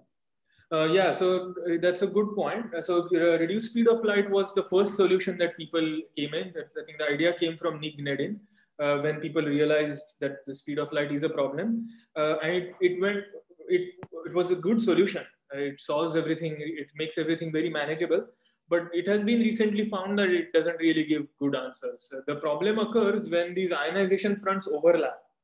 See, until the ionization fronts overlap, the main challenge is the speed of ionization fronts is reduced when you also reduce the speed of light. Okay, so this was not very well appreciated before. Yeah. And because when the ionization fronts are small, they're kind of isolated, the reduction in speed is not that much. So you, you don't you can't tell much. But when they become bigger and they start overlapping, you can really tell the differences. And unfortunately, that's where all the observational data is. Uh, so slowly in the last, uh, there are there haven't been any innovations on the reduced speed of light since then. I think this has just that idea has just gone uh, away now. So I think the main uh, development at the moment is uh, coming up with better implicit methods and better subcycling strategies to do this. And at the I moment, think, uh, the best I, Ramses RT there again. Sorry. Yeah, I think just to add to what Girish is saying, um, there are uh, several implicit explicit schemes like the IMEX schemes, which actually people use for relativistic uh, resistivity. Now, this is uh, exactly similar to your M1 closure because you also have a diffusion term in your resistivity. And therefore, and it's also based on the speed of light. So there are various uh, mainly led by Luca Del Zanna, who has developed this echo code, which does this relativistic uh, resistivity simulations. and they have developed these IMEX schemes to handle such uh, such kind of uh, things, which you may want to look into for uh, for Ramses RT or for for Aton. Mm -hmm. Yeah, thanks. Yeah, no, that's that's useful. Okay. So I just want to get in on the point which uh, Girish mentioned in the final conclusions about using commercial cloud thing.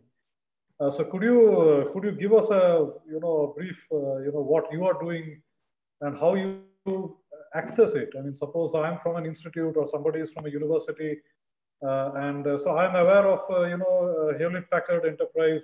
they have recently introduced this GreenLake, which is also an HPC cloud platform.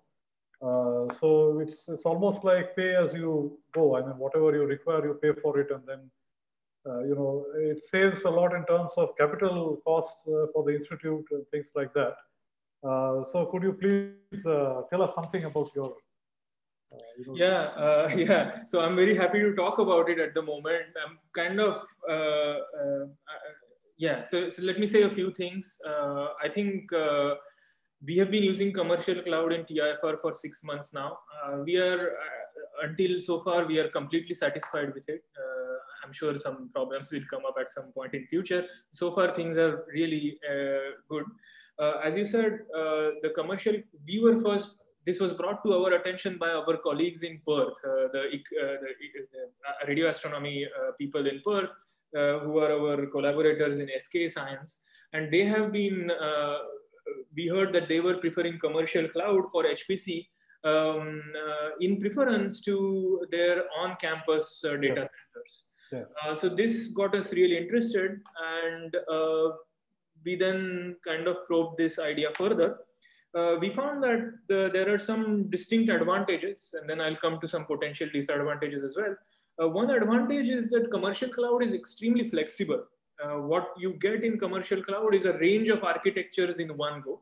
Whereas when we buy cloud, uh, when we buy HPC systems on campus or something, we sort of have to stick with that architecture for at least a period of five years or so. Yeah. Whereas uh, so if, if one morning I have to do a GPU simulation, I allocate a GPU on the cloud. If another morning I want to do a really tiny visualization, I can uh, spawn a really low, old, low cost old CPU. So that flexibility is important. Uh, the second thing is the reliability is very high because of the redundancy. It's just, just, just an economy of scale argument. The data centers of these commercial vendors are so much bigger than anything that uh, uh, we can uh, afford uh, that everything is so redundant that it's 100% uptime essentially. Right. Uh, the third interesting point that I felt was that it was extremely easy to set up. Uh, it, it, has been a challenge in India to set up uh, HPC on campus and then manage the maintenance and support. Uh, this thing just doesn't is not there. The purchase happens almost instantaneously, and you start using the HPC.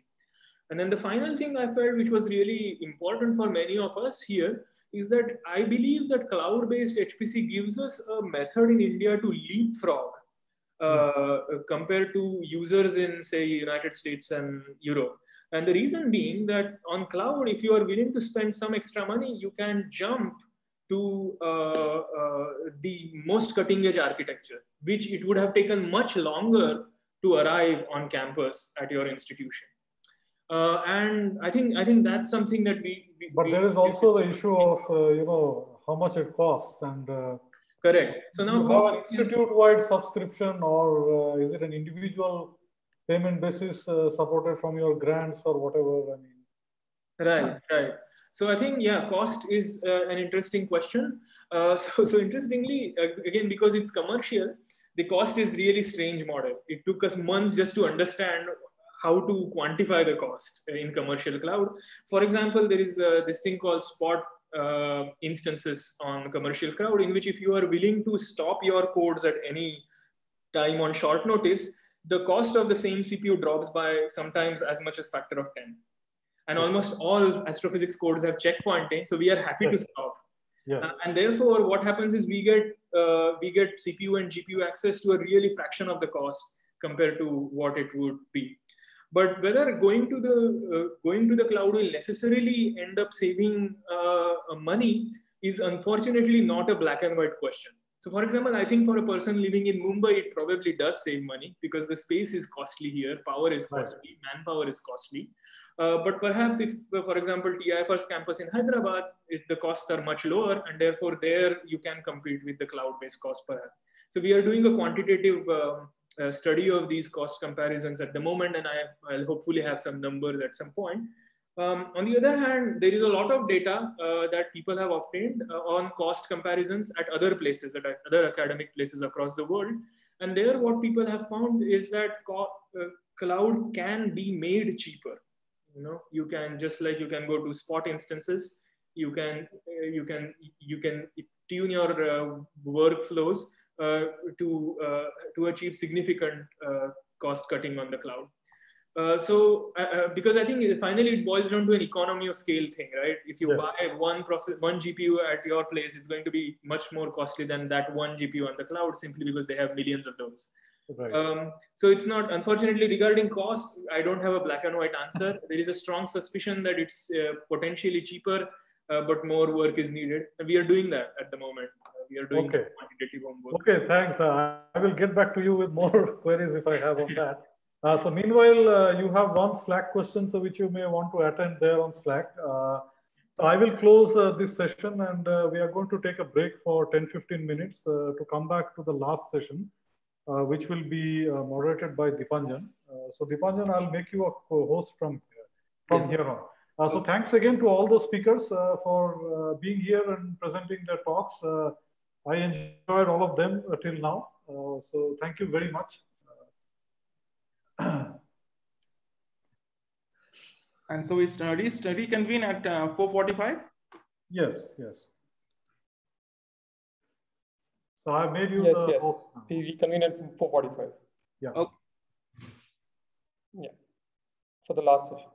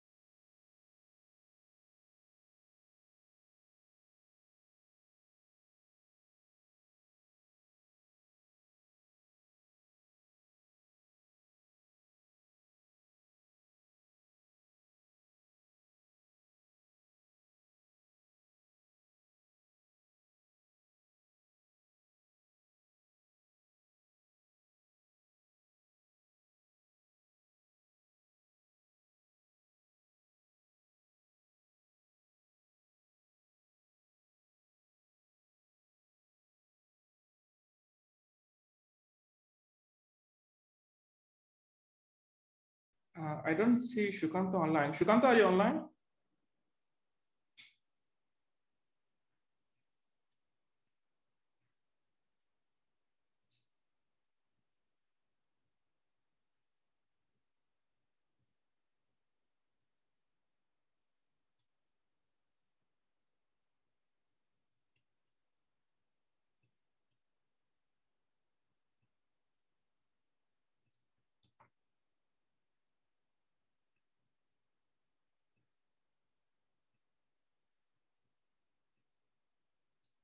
Uh, Sukanta, can you hear me? Yes, I can hear you, Dipanjan. What okay. about my audio? I have made you a co-host now, so they can share your screen. Uh, we'll start in about two minutes. Uh, sounds good. Let me test out my screen. Okay, I'll stop my share. Okay.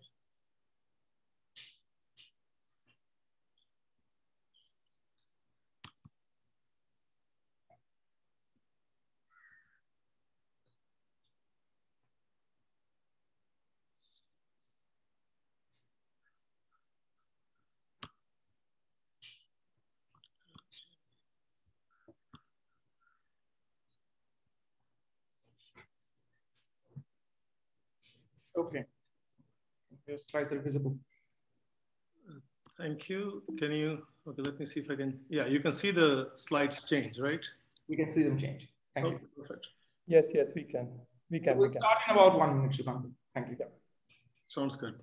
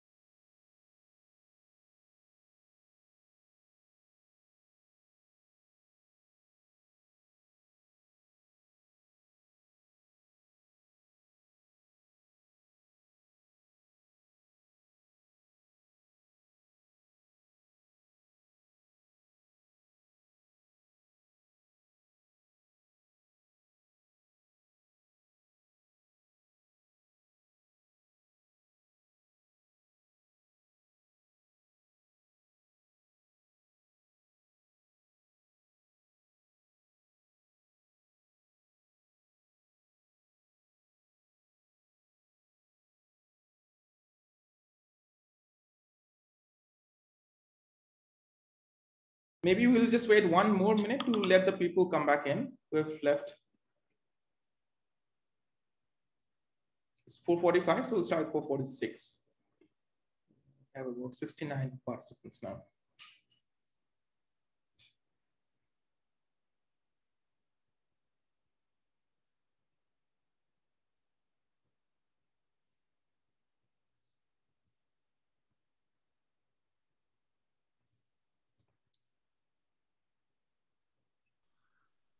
Okay. Um, yeah, I dropped out for a second. Um, okay. So you have been made a co-host again, okay? Yeah, thanks. There's a thunderstorm brewing in Pune. So yes, yes I know. Uh, I might have to go back wet when I go back from office. Yeah. Be careful, guys. I'm just worried that my uh, the internet connection doesn't drop out and give a blackout completely. no, it's a... Although we have UPSs, so we should be fine. So, okay, uh, let us uh, start, start, the last session of, of this workshop. It has been a very um, interesting workshop with a wide, diverse area of topics being covered, starting from the first session where we had a wide overview of different types of architectures that we run our codes on and more generalized views. And then we had uh, two uh, subsequent sessions with more specific uh, science topics, and uh, we'll continue that in session four on astrophysical relativity. We'll have three talks again uh, by Sukanta Bose, Indranil Chattopadhyay, and Prayush Kumar. Um, speakers will have 20 minutes. I'll give you a warning at the 18th minute, and uh, we'll have five minutes of Q&A after the talk. So uh, Sukanta, after you on comprehending nature's densest objects. Thank you. Um, thank you, Dipanjan. Um, let me begin by thanking uh, ASI and the organizers, uh, uh, Dipanjan and his colleagues. Uh, I'm sorry, I'll have to close my window because of the storm. But um, I'm, I'm happy to talk about uh, this uh, topic on basically gravitational wave discoveries that have happened in the last five years. Um, and uh, it seems that uh, what these um, uh, messengers of gravity are telling us, I mean, they're in some sense complementing um, some of the things we uh, know from electromagnetic observations. Sukanta, sorry, we cannot still see the screen if you have shared it. Oh. Yeah, so you have to already share the screen, Sukanta. Uh, sorry, thanks for letting me know.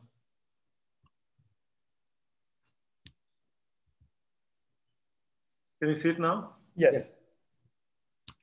All right, so, and uh, what you see on this first slide uh, is an artist's impression of uh, uh LIGO India. Um, the site has been uh, fully procured and in fact, uh, construction is ongoing at the moment. We are still waiting for the final project um, sanction, but um, hopefully we'll get it um, in the coming months. Um, what I show in the coming slides have benefited from um, work from a, a, a, few collaborations here. So what you see in the second slide is a menagerie of gravitational wave sources, all binaries uh, of mainly you know, binary black hole and binary neutron star types. Um, and uh, they were discovered because of um, the efforts of the LIGO, Virgo, and um, mainly those two collaborations. And more recently, the KAGRA collaboration from Japan um, has also joined. Um, but um, the LIGO scientific collaboration, uh, uh, of course, has a representation from many Indian institutions in the form of the LIGO India scientific collaboration. And their work is also partly represented in these slides. Uh, what you see uh, in this picture um, is on the vertical axis, I've plotted the masses, the component masses of the binaries. Um, so in solar mass, uh, near the, uh, the horizontal separation doesn't mean anything here, um, except that they help the viewing. Um, so uh, the galactic neutron stars uh, are, no, are, are, shown in um, yellow. Uh, these are basically the ones um that are seen in binary systems. Um, but you will find uh, towards the center of the panel near the bottom, um, a couple of pairs of orange uh, spots, which actually represent the binary neutron stars that have been discovered by uh, LIGO and Virgo. And they coalesce to form uh, objects shown in white uh, in the mass gap region between about two and five solar mass. Um, uh, we assume these are black holes, maybe the lightest black holes, but we have not seen any signals from them. So that is um, a part uh, or a component of the future discovery space where signals from these um, post-merger objects may actually confirm uh, whether we are observing you know, the lightest neutron stars, I'm sorry, the heaviest neutron stars or the lightest black holes. Uh, but if you go up uh, to uh, the part of the diagram showing heavier masses, then in purple, you see the uh, black holes, um, again in the galaxy, known through electromagnetic observations. But in blue, uh, we see them close to you know, um, 50 binary black holes observed by LIGO and Virgo. And um, this clearly showed that most of the black holes that are now known to mankind are uh, quite a bit heavier than um, the masses we could sample uh, through black holes in our galaxy. Um, so this uh, demographic information is useful, for example, to understand how, the, how these black holes are formed in the first place, because there are multiple channels um, that may be in the works. And some of this you may have heard um, in um, uh, Saurav Chatterjee's talk earlier today. Um, so third slide, what have we learned so far? Uh, first, black hole mergers are uh, quite common. Um, most do not reveal much spin. Um, that is something we have learned. We, we did not know this for sure. Um, uh, on the other hand, a few of them actually show clear indication of presence of you know, spinning black holes. So, so it, mean, it means that spins are not completely ruled out because there are theoretical models that suggest that uh, black holes can form without spin. I mean, these have cosmological implications through the formation of primordial black holes. Um, uh, but um, on the other hand, if um, uh, we did observe many black, black holes with spins uh, that would have supported a dynamic uh, formation channel where uh, through maybe you know three body or Kozai oscillations, we uh, in globular clusters, uh, we, we see these binaries form. Um, um, but um, it's, it's, maybe we should wait for more data before we can conclusively say whether that formation channel is really quiet or not. Um, second, um, yeah, as I just showed you on the previous slide, uh, pseudonomous black holes can be quite massive. Um, uh, in galactic black holes, we find them to be um, to have masses of up to about 20 solar mass or so. Uh, but here we find them to be much more massive. I mean, um, for stellar mass all the way to um, over 50 solar masses, but maybe we are even touching um, or, or uh, probing into the intermediate mass black hole regime, where with a recent discovery of GW 190521, uh, it seems um, uh, we, are, we are observing black holes that are you know, touching uh, at around 100 uh, solar mass in mass. Uh, third, the distribution, that is the distribution of these black holes that we have sampled, is across um, quite a range of redshift. that 190, um, the heaviest um, black hole merger um, was found at a, a pretty high redshift. Um, so, which means that um, we can use these objects um, as standard candles. Uh, we call them standard sirens because we can, quote unquote, hear the gravitational waves from them, but we can't see them. so we can use them as standard sirens because uh, their masses or absolute luminosity uh, can be harnessed from the modulation of their gravitational waveforms. Um, to be able to measure H naught, the Hubble parameter, but also perhaps uh, the dark energy equation of state. So that remains, a, yeah, we have done some measurements, um, but uh, they're not precise enough to be able to um, sway uh, the jury on whether, for example, you know, the SH0ES uh, measurements are more accurate um, um or, um, or the CMB measurements. Number four, uh, we have probed properties of dense matter, um, basically nuclear matter in neutron star mergers, and I'm going to show a slide or two about that. Um, and number five, uh, through the binary neutron star observation at 40 megaparsec, we have actually established quite firmly that indeed kilonovae are associated with uh, short gamma ray bursts, and that short gamma bursts are actually caused by binary neutron star mergers. Um, so, so uh, and also we have learned more about the uh, SGRB engine itself.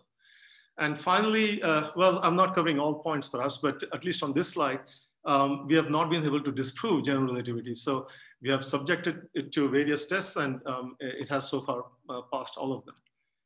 Um, but uh, how do we infer so much uh, about these objects and the cosmos uh, or the environment they, they, they reside in? Uh, it's essentially through the waveform as I hinted. So here, uh, if you can see my cursor, um, um, on the left, I show um, a schematic of two black holes with their own independent spins um, uh, precessing and then coalescing because of loss of energy through gravitational wave emission. And as these uh, two black holes inspiral, um, and that then I transit to the right uh, plot here, um, they, they, emit gravitational waves where the instantaneous frequency of this strain shown as a time series uh, below the cartoon. Um, uh, the instantaneous frequency is uh, twice the orbital frequency. And the closer these two black holes come to each other, we are digging deeper into the gravitational potential and the amplitude of the strain increases. And eventually they merge and then um, the final object in this case will also be a black hole. And the black hole um, um, is uh, quite compact with a very strong surface gravity and it rings down like a damped sinusoid as shown in the last few cycles. Um, so these waveforms, one of the computational challenge, I mean, given the theme of this workshop, is, is to produce these waveforms across a vast parameter space. Um, the inherent parameter space um, is of the order of um, uh, 10, but uh, the overall parameter space, um, um, uh, if you include uh, things like you know the sky location, the orbital inclination, etc., would be would run over a dozen parameters. Um, so, but even if you limit yourself to the inherent parameters, such as the inherent spins of these objects, um, uh, and if their uh, orbits have any eccentricity, um, if, for example, some of, uh, if they have horizons or not, um, those things um, are, um, are a challenge to uh, simulate because especially if you also allow for very disparate masses, because then you have to have your have adaptive drifts where you can resolve the different objects um, as required by their inherent sizes and also track them as they come closer. I think some of these details you will hear um, a couple of talks later by Prayush. Um, so I'm not going to spend too much time on that. Um, but apart from modeling these waveforms, um, um, we, the, the other complementary challenge is how do you then hunt for them in, in noisy data? So that is the signal search uh, problem. Uh, I'm going to say a few words about that uh, uh, um, a few slides later. But um, uh, persisting with the binary black hole waveforms, um, how do we model them? We use post-Newtonian theory in the early part of the waveform, then when the um, binary components are somewhat spaced out, so they're, um, they're not gravitationally interacting very strongly. Um, their speeds are much less than the speed of light. So we expect perturbation of, or, or rather expansion in, um, in powers of the velocity of these objects beyond um, the Newtonian orbits um, to be uh, quite reliable. But as they come, and, in this part of the work um, was um, in India, if I uh, limit myself to Indian contributors, I mean, historically that has been led by uh, Bala Iyer and his collaborators. Um, but as you come closer, um, you cannot ignore the effects of numerical relativity because like in the first uh, signal discovered uh, almost, well, a little over five years ago, but announced almost five years ago, that was 150914, um, that binary black hole merger um, had just a, a, few cycles close to merger. And uh, to, to model them, you know, the velocities uh, were very close to the speed of light. I mean, almost like 40, 50% of the speed of light by the time those objects were merging. So there you cannot avoid um, invoking numerical relativity. So um, there, um, in, in the past, uh, this effort was primarily led by uh, researchers outside India, but uh, lately, um, Indians have also been contributing to generating these waveforms um, in some parts of the binary black hole parameter space.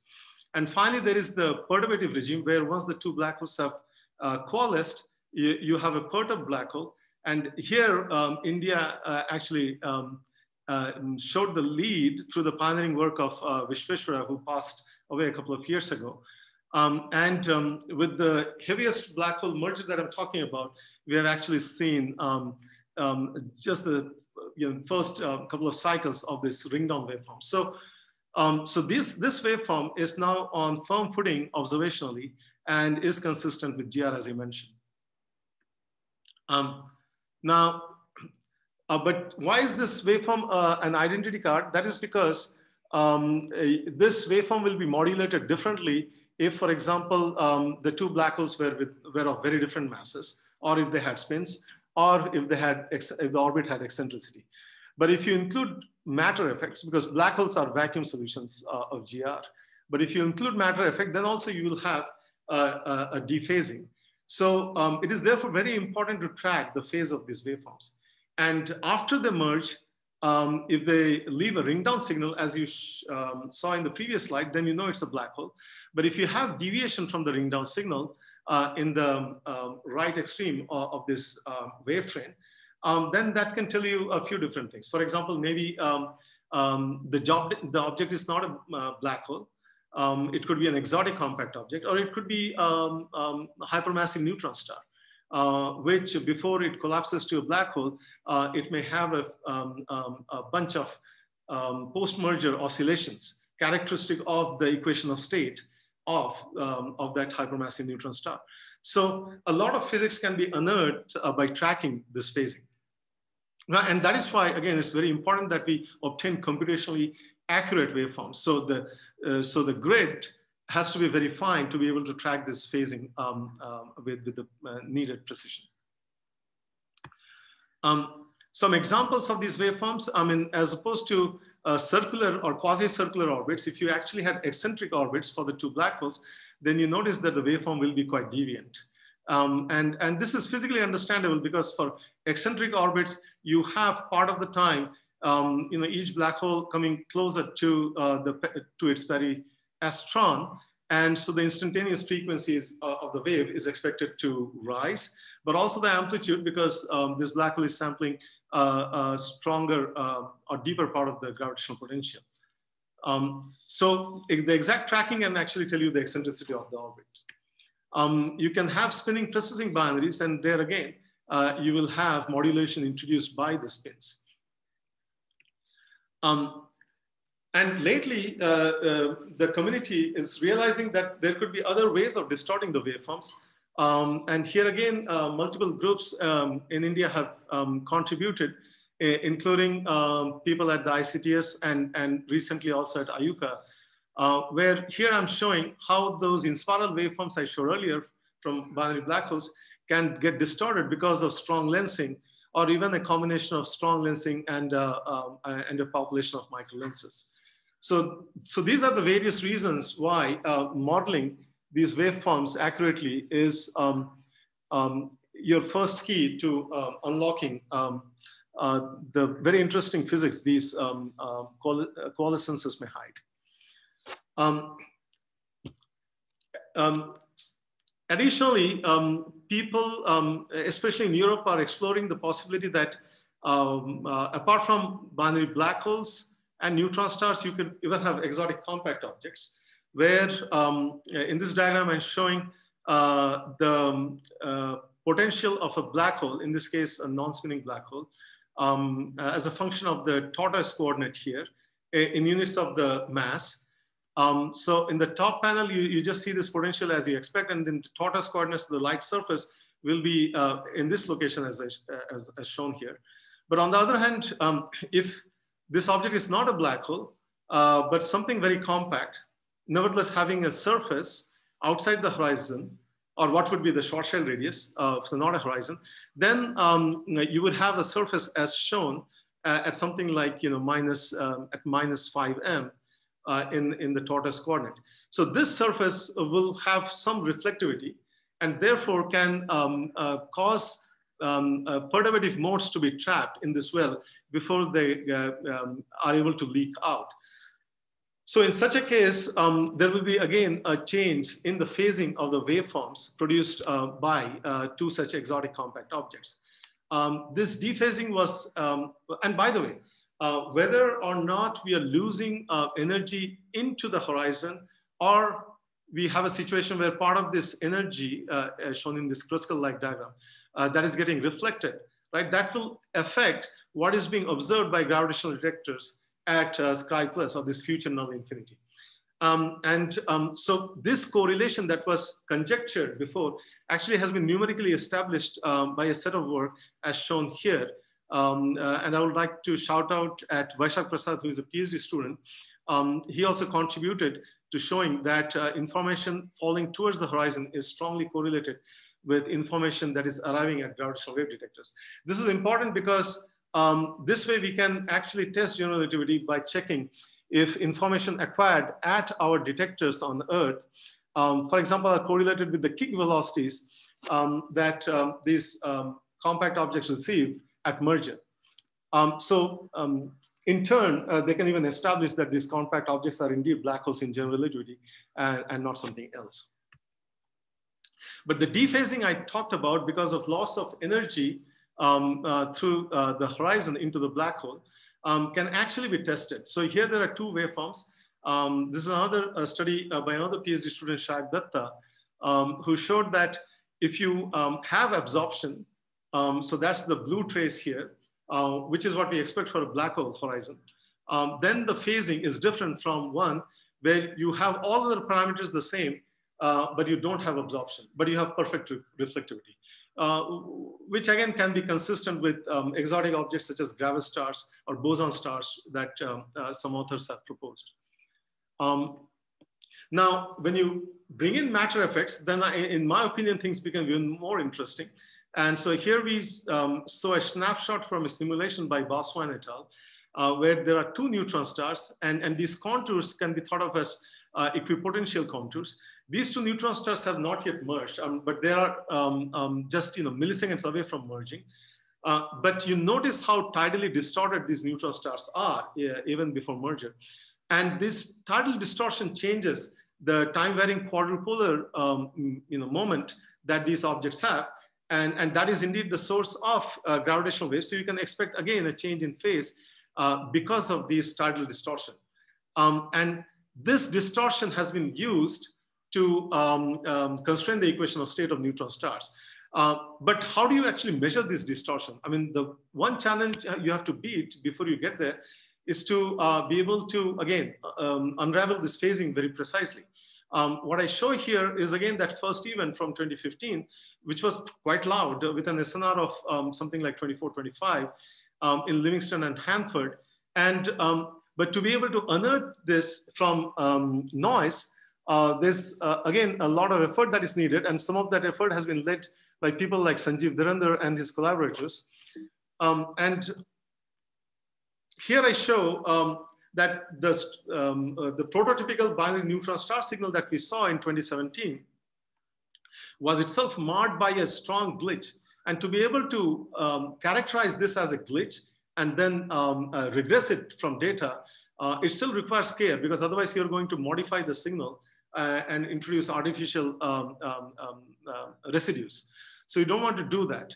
Um, so some of this effort also has been contributed by people listed here. In fact, uh, Sanjit Mitra and his collaborators have recently shown how, uh, how to improve the significance of some of these signals by using machine learning, uh, where they actually teach uh, the machine how to recognize um, uh, noise artifacts from real signals. And that therefore um, uh, improves the significance of these signal tracks. Here, this chirp is a time frequency track that we expect from a binary uh, uh, compact object coalescence. Um, so you use the phasing of those coalescences then. You are almost near the time, so just maybe you can. Uh, okay, uh, just a minute or so. Um, so here uh, we show how for this binary neutron star, we were able to constrain the pressure in, in you know, neutron star matter as a function of density. Um, so the, the and, and, the left, we show only the uh, pulsar um, um, uh, mass limit that is used to constrain things. Uh, in the bottom, we showed this in the form of mass radius diagrams. But if you use gravitational wave observation, how you notice how these posteriors, the 90% posteriors shrink. And then to that, if you use the NICER mass radius observation, it shrinks things further. So it's a multi-messenger observation already that is helping us. You can also do um, consistency tests between what you see in the inspiral phase and what you see in the ring down phase to check whether things are consistent with general relativity. And that work was led by another then uh, PhD student, Abhirup Ghosh at ICTS. Um, and this is important because there are uh, alternative theories of gravity that um, predict a different signal in, in, in the ring down, shown in red here, such as from brane world, as opposed to the damped sinusoid in GR, shown in blue. Um, and okay, so what is the next discovery phase? I mean, we expect that eventually perhaps we'll see a stochastic uh, background of gravitational waves um, which could be, the distribution could be different here in the density parameter omega for binary neutron stars as opposed to binary black holes. And in the right, I show how these uh, uh, LIGO noise curves are gradually going to seep into probing um, uh, these distributions. We are not there yet because we are actually at this black line with the uh, latest concluded observation, the third observation run. Um, and then um, we can use these observations to constrain the rate of formation of black holes in Redshift. Um, and then, okay, this is my uh, last slide. So in summary, what do we expect uh, in maybe the next 10 years? This is my, you know, uh, list of uh, guesses. Um, I would say we would expect to see more oddball binaries, uh, maybe at least including one that um, uh, is discovered by a machine learning algorithm. That has not happened yet. what I mentioned for the Srijit et al. study was one where the significance was improved for, for one pre-discovered object uh, we can get a more precise measurement of H naught. I didn't talk about Hubble parameter because uh, it's, a, it's a short talk. If you have questions, I can uh, answer that there. I talked about effect of lensing. So we, I would expect to see at least a lensed binary that in turn can uh, enrich the physics we learned because through gravitational waves, we can measure, measure the time delays of the lensed images. That in turn tells us things like, you know, how fast gravity can travel. Um, I expect to see a stochastic background of gravitational waves. Uh, of course, it needs um, improved detectors, but that is what we expect to happen in LIGO and Virgo in the coming years. Um, possibly a gravitar, which is a spinning wobbling pulsar emitting gravitational waves. Maybe a gravitational discovery by, by pulsar timing array. Um, maybe it's imminent, I don't know. And then maybe post-merger signals of binary neutron stars, which could perhaps hide information about phase transition in nuclear matter. Uh, with that, let me end here and again remind people that uh, what I've shown here has benefited from um, uh, work from a lot of people, many young faces here. This, of course, is a pre-COVID picture, but when uh, when um, things, when the pandemic, you know, uh, allows us, um, maybe we'll get a more uh, recent picture um, of the community. Thank you. Well, thank you, Shrikanta, for this very broad introduction and uh, setting the right pace for this session, actually, uh, from the physics point of view and the results that we can have and where numerical relativity more fits in, which allows us to have more technical discussions in the later half. So I'll open the floor for questions. Um, participants, if you have questions, please raise your hand. Shantanu Desai, I'm asking you to unmute yourself. Yes, so Sukanta, since you mentioned exotic objects, right? So one of the bastion of another kind of exotic object uh, is in India, Pankaj Joshi. So uh, on naked singularity. So maybe it's just my ignorance. So can are the LIGO disorders? Can you rule rule out naked singularities? The, Sorry, this is a physics question, not uh, not not in line with the theme of this talk. But since I was just curious. Um, okay, I'm I cannot give you a statistically uh, um, uh, informative answer on with what confidence we can rule it out. But what we have seen so far is um, consistent with uh, either binary black holes or binary neutron stars in general relativity. Uh, the one issue I have with naked singularities is that, uh, you know, how do you handle predictability at the singularity, right? So, uh, but maybe that's a discussion for another day. But what we have seen so far um, can be um, explained very well with black holes and neutron stars. Okay, thanks, Shantanu. The next question by Dibyendu. Hi, Shukanto. So this is uh, Dibyendu from IISER, Kolkata. I'm not an expert, but I'm just trying to understand this interesting uh, stuff that you mentioned about a stochastic background of gravitational waves. Uh, so do you mean a non, non-directional, like something not related to a particular event, but a general background of, of volume filling gravitational waves, which is existing in the universe that you might be able to detect? Yeah, so um, uh, this um, is um, related to the fact that uh, we have been observing, you know, especially binary black holes deeper and deeper. And as our as the detector sensitivity improves, um, uh, um, and given that we have actually observed some really loud ones from uh, redshift, uh, a very high redshift, um, uh, and given the projections for the population um, through through plots like this, where at, at close redshift, you know, the error bars are very small. Of course, at high redshift, we don't know. Things can be, the rates can be very low or very high.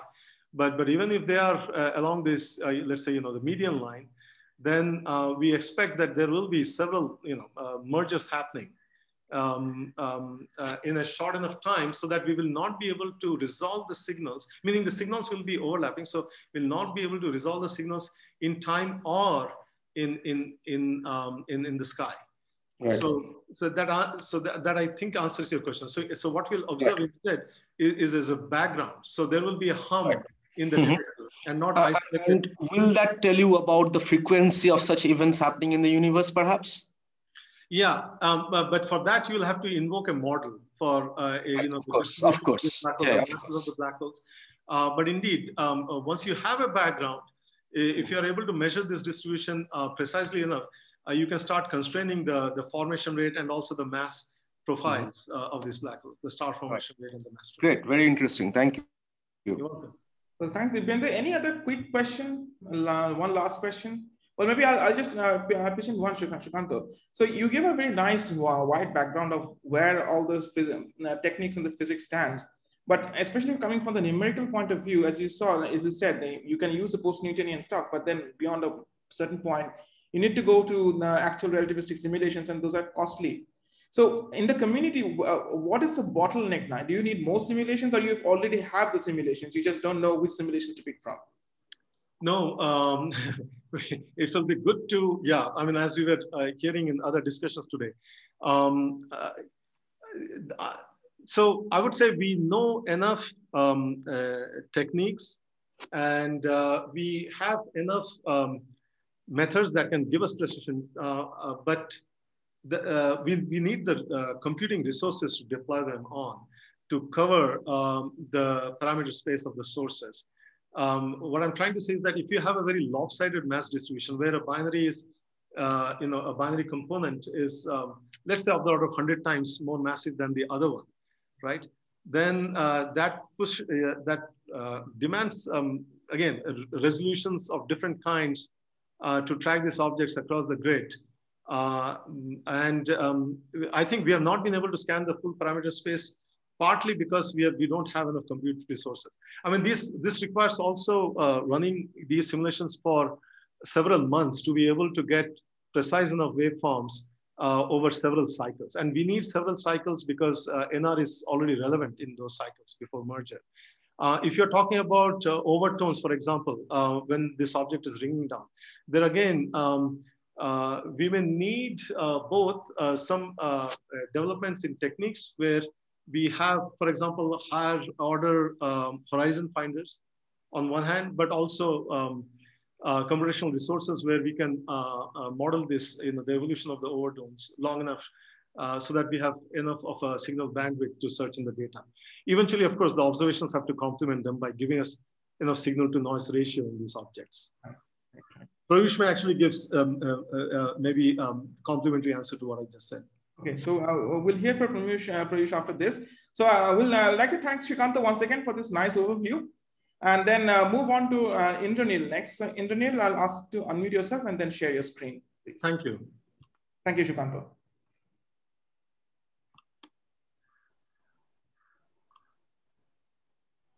Uh, Indranil, can you hear me? You, you are a co-host. Yes, yes, I can hear you. Yeah. Okay, just a minute. Uh, I will just. Yeah.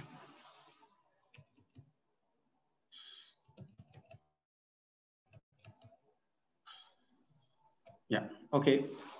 Uh, I'm very sorry that uh, I, I, missed most of the workshop. It's very interesting talks I missed. But anyway, uh, the internet connection is also very poor here.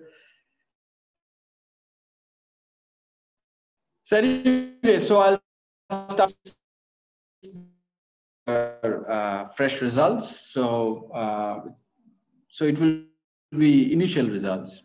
All right. So now accretion we know is the best model to explain the luminosity, etc. Uh, but we also know that accretion onto black hole is trans-relativistic in nature. That is, at large distance, the flow is non-relativistic, but close to the horizon, the, if it is a black hole, of course, uh, flow is relativistic. If it is jet, then it's the other way around. It should be uh, non-relativistic close to the black holes. The, uh, the bulk speed should be non-relativistic, and at large distances, relativistic. Uh, so uh, from this accretion, accreting matter, a fraction of the matter is also supposed to be redirected as bipolar jets, say the flows around compact objects. So the important point to note is that jets are launched from accretion disk and uh, close to the uh, compact object and the, there the matter is quite hot. Therefore, the plasma around compact objects are fully ionized and thermally relativistic, which means that the thermal energy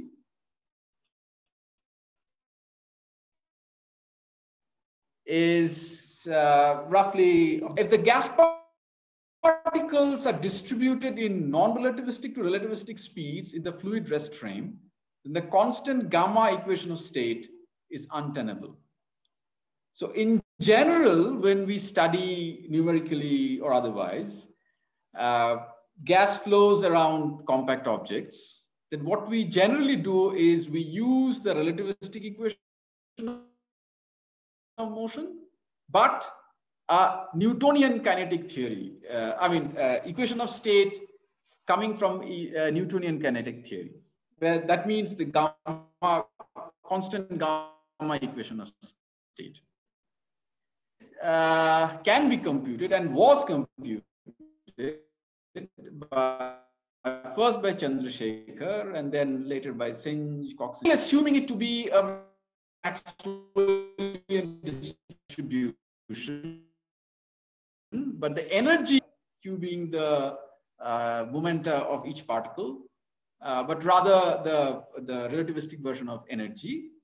And if you do that, then uh, the equation of state, what we get I mean, in, and integrate in the phase space, and then you calculate what is the energy per unit volume, then it turns out to be is a combination of, of uh, modified Bessel's functions of various kinds. So uh, the problem with this was that because it is a modified Bessel's function, to implement in numerical simulation codes, it is the time taken increases. And now if you want to do more, uh, you know, sophisticated physics, then it, it, is, it is what is called uh, computationally expensive. So what we did was, uh, many people also did try, okay, so uh, we did an algebraic uh, approximation of this equation of state by Chandra. We call it RP. RP means it is relativistically perfect. Uh, so we uh, extend it from single species to multi-species uh, fluid because we proposed it long back in 2009. Okay, there's something missing here, okay? I don't know what happened.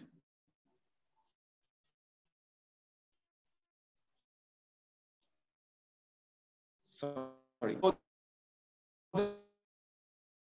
this is if you want to add positrons, then positrons. Of course, the charge balance of this in terms of very simple form, rho f. f is a dimensionless parameter, uh, a variable. Uh, rho being the mass density given by this. And uh, f is this dimension variable. Theta is the pressure divided by the uh, rest mass energy density of the fluid. Tau is uh, uh, com composition parameter is function of, uh, so this is tau basically, this 2 minus xi by xi by eta. And xi is the proportion ratio of protons and electrons, eta being the ratio of electron mass by the proton rest mass. And uh, the polytropic index will come out to be this, which is basically uh, a derivative of, uh, of f with theta. And then the adiabatic index is 1 by n, uh, 1 plus 1 by n. And uh, then you can understand that both n and gamma is no more constant. But to be fair, we don't need these concepts of n and f at all. Uh, sorry, gamma and f at all, uh, gamma and n at all, because they are they don't enter the the, the equations anywhere. Every, everything is a function of theta there. So now if we plot the gamma but since we are more adopted uh, with it varies from gamma 4 third to uh, 4 third to 5 third. And it also that is that is temperature dependent also depends on the uh, the composition of the flow. This is for the electron positron. This is for the electron proton. All right? So uh, now uh, so we have implemented we may we we we uh, build a relativistic code some time ago and uh, then uh, just recently, we also obtained the exact solutions of Riemann problem. Riemann problem is essentially people who work on numerical simulations knows is basically an evolution of initial discontinuity and want people get exact solution and then match the codes with these uh, Riemann problem. So here is one example of Riemann problem. It's a uh, 1D version of a relativistic jet. So this is density, this is pressure, and this is the uh, forward velocity. Uh, so so it's close to one. So I think 0.99 was the injection speed here. And it's for xi equals to one, that is electron proton flow.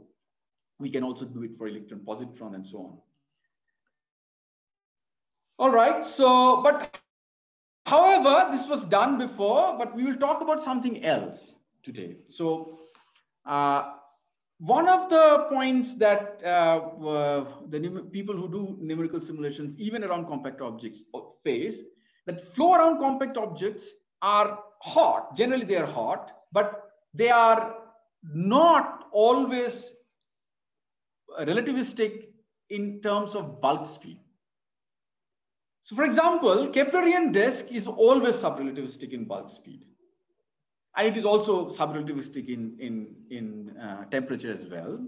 But even advective accretion flows achieves moderately, moderately relativistic infall speed only at distances less than 2.5 Schwarzschild radius. Okay, so then it, it achieves around 60% the speed of light. And then from 2.5 to one Schwarzschild radius, it, it, it achieves the speed of light. So, but that's a very short distance. But, and most of the radiations in physics that happens and that, that we detect is outside that. Okay. Even jets are supposed to be relativistic in bulk speed for uh, distances greater than a few uh, into 100 Schwarzschild radius, uh, presence factors, G mu news. And so therefore, to do a lot of physics, it is really uh, computationally expensive. So people who do GRMHD simulations, they, they, they can, they will vouch for. And so therefore, using uh, uh, computational uh, facilities judiciously to do that, it is better to have some idea, okay, that what we are trying to search for. So these kind of codes, which is essentially non-relativistic, I mean, they use non-relativistic equations of motion. People use it. What we did is we use this non-relativistic equations of motion, but now we implemented the this relativistic equation of state we proposed uh, some time back. Okay, so that means that we start with these equations. This is very well known uh, uh, uh fluid equations, and uh, where E is uh, E plus rho UK squared by, by, by, by two. So the kinetic energy plus the internal energy. Now we insert this, the, the CR equation of state here. Okay. But of course, we have to recalculate the eigenstructure of the code and therefore the fluxes from there on, and then the usual TVD routine. But I must must say that is nothing to do with TVD. We already we are uh, developing a WENO code, which is uh, TVD is basically second order correct in in space. A WENO code is is you can go up third order, fourth order, uh, fifth order, and so on. So we can go up. So we are already implementing it in a WENO code. So, uh, so it's, it, it is, it's independent of the numerical scheme you want to uh, use, okay? So now again, uh, we checked it with the, initially we developed a, a, uh, a Cartesian code and then we checked with uh, shock tube tests, the Riemann, one of the I mean, uh, famous Riemann problem with the shock tube one. So uh, these are the parameters. So these are the left quantities, pressure, density, and velocity. And these are on the right uh, side quantities, pressure. And the, the separation is at, at the middle. That is uh, here 0.5. And then we allow it to, uh, to, to evolve. And here is the velocity and this density, pressure. And here you can see the gamma, how the gamma is varying here. Okay. All right.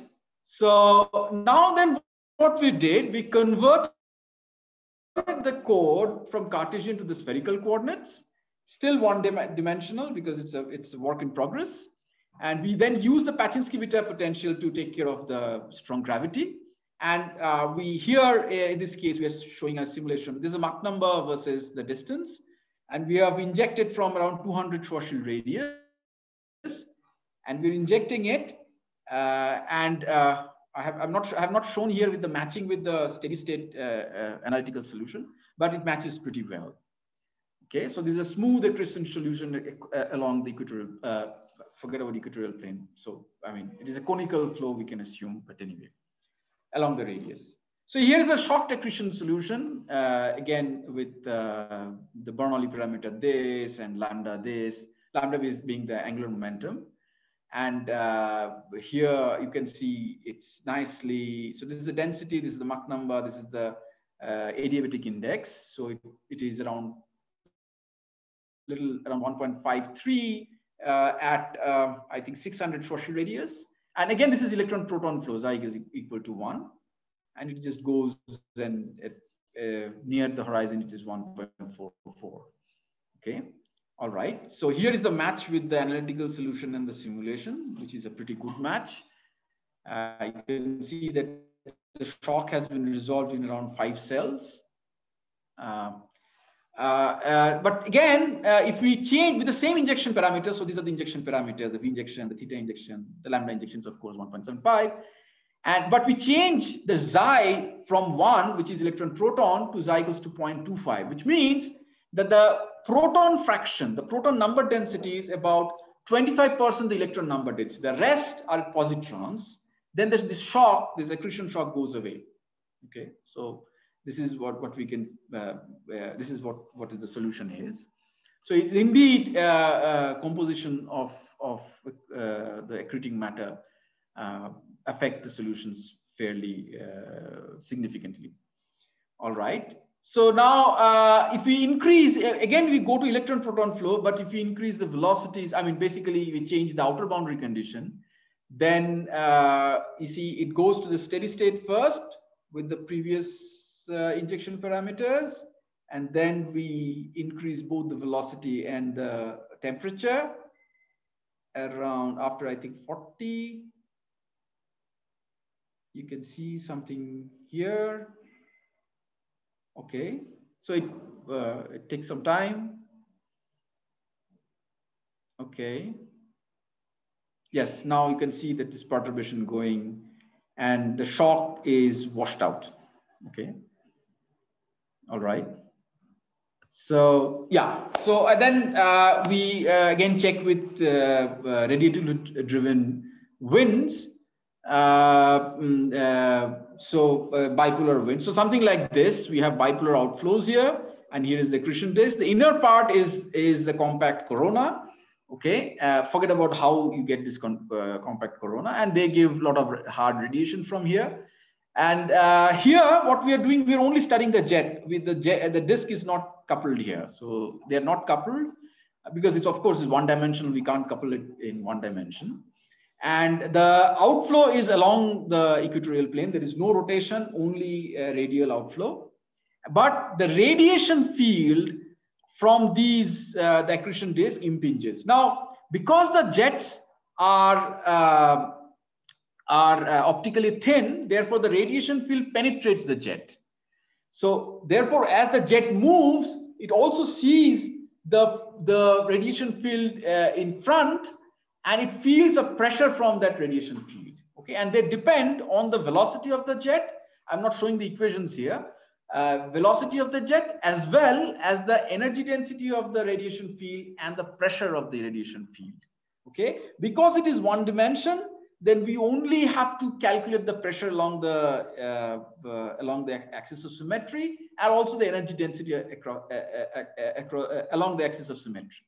Okay, and the fluxes will will sort of push it up, and the radiation field in front, I mean the energy density and the pressure in front will try to uh, pull it down. And the faster it moves, the faster it, the, it will feel the drag. It's something like if you throw a, a, a, a, you know, a stone in air, it feels the drag and so on. Okay. Now, if the disk is, uh, is uh, the disk parameters are changed, the radiation field will change. However, the entire jet will not uh, know instantly the disk has changed because of the finite speed of light. Some, some kind of a, in electrodynamics we did, right? It's some kind of a retarded potential kind of a thing. It's not a potential, it is a radiation field, but uh, it, it, since the, the light takes some time, so the, the light will affect it here uh, before than here. And so we study this effect in this particular study.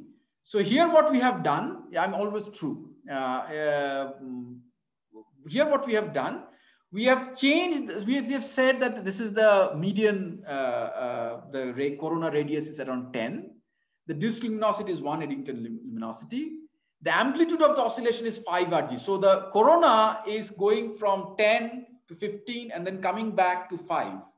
And uh, the time period is around 0.1 uh, MB second. MB is the solar mass, uh, I mean, sorry, the black, uh, black hole mass or whatever, the compact object mass uh, in terms of uh, solar mass. Okay, so now you, you can put whatever solar mass we want. Now the corona height maintains a ratio of 0.6 with excess. So whatever will be the excess, the corona height will reduce or increase and keep this ratio 0.6. So this is uh, what we have done. And we can see that the jet, you can, you can see somewhere here, there was a shock forming, okay?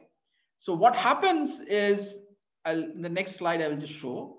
So these are, uh, we have done it for three cycles and then it's repeating, okay? So what we want to show here is that this was the steady state solution here, okay? And you can see the, the energy density is this one and the, the pressure, the radiation pressure, and this is the uh, radiative flux, okay? And uh, here it, it, it, it sort of uh, it sort of um, uh, uh, decelerates because the radiation uh, energy density and the pressure is high here. But as it goes, I mean, as it as as uh, the the the location of this corona radius goes to seven from ten, then the proportionately the energy densities and everything goes high. Okay, and so therefore it dips further.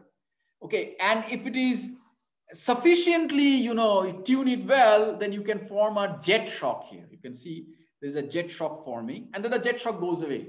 Okay, it will be even, you know, more more significant if the corona height does not change much. Okay, it doesn't maintain a ratio. So then you can see a shock comes, and again there is another shock forming, and we have just uh, computed up to 1000 Schwarzschild radius, but you can see this is catching up. So you can have colliding shocks. Okay, if you simulate it further uh, in this. So uh, in, in all the cases, we have, we have only simulated electron proton outflows.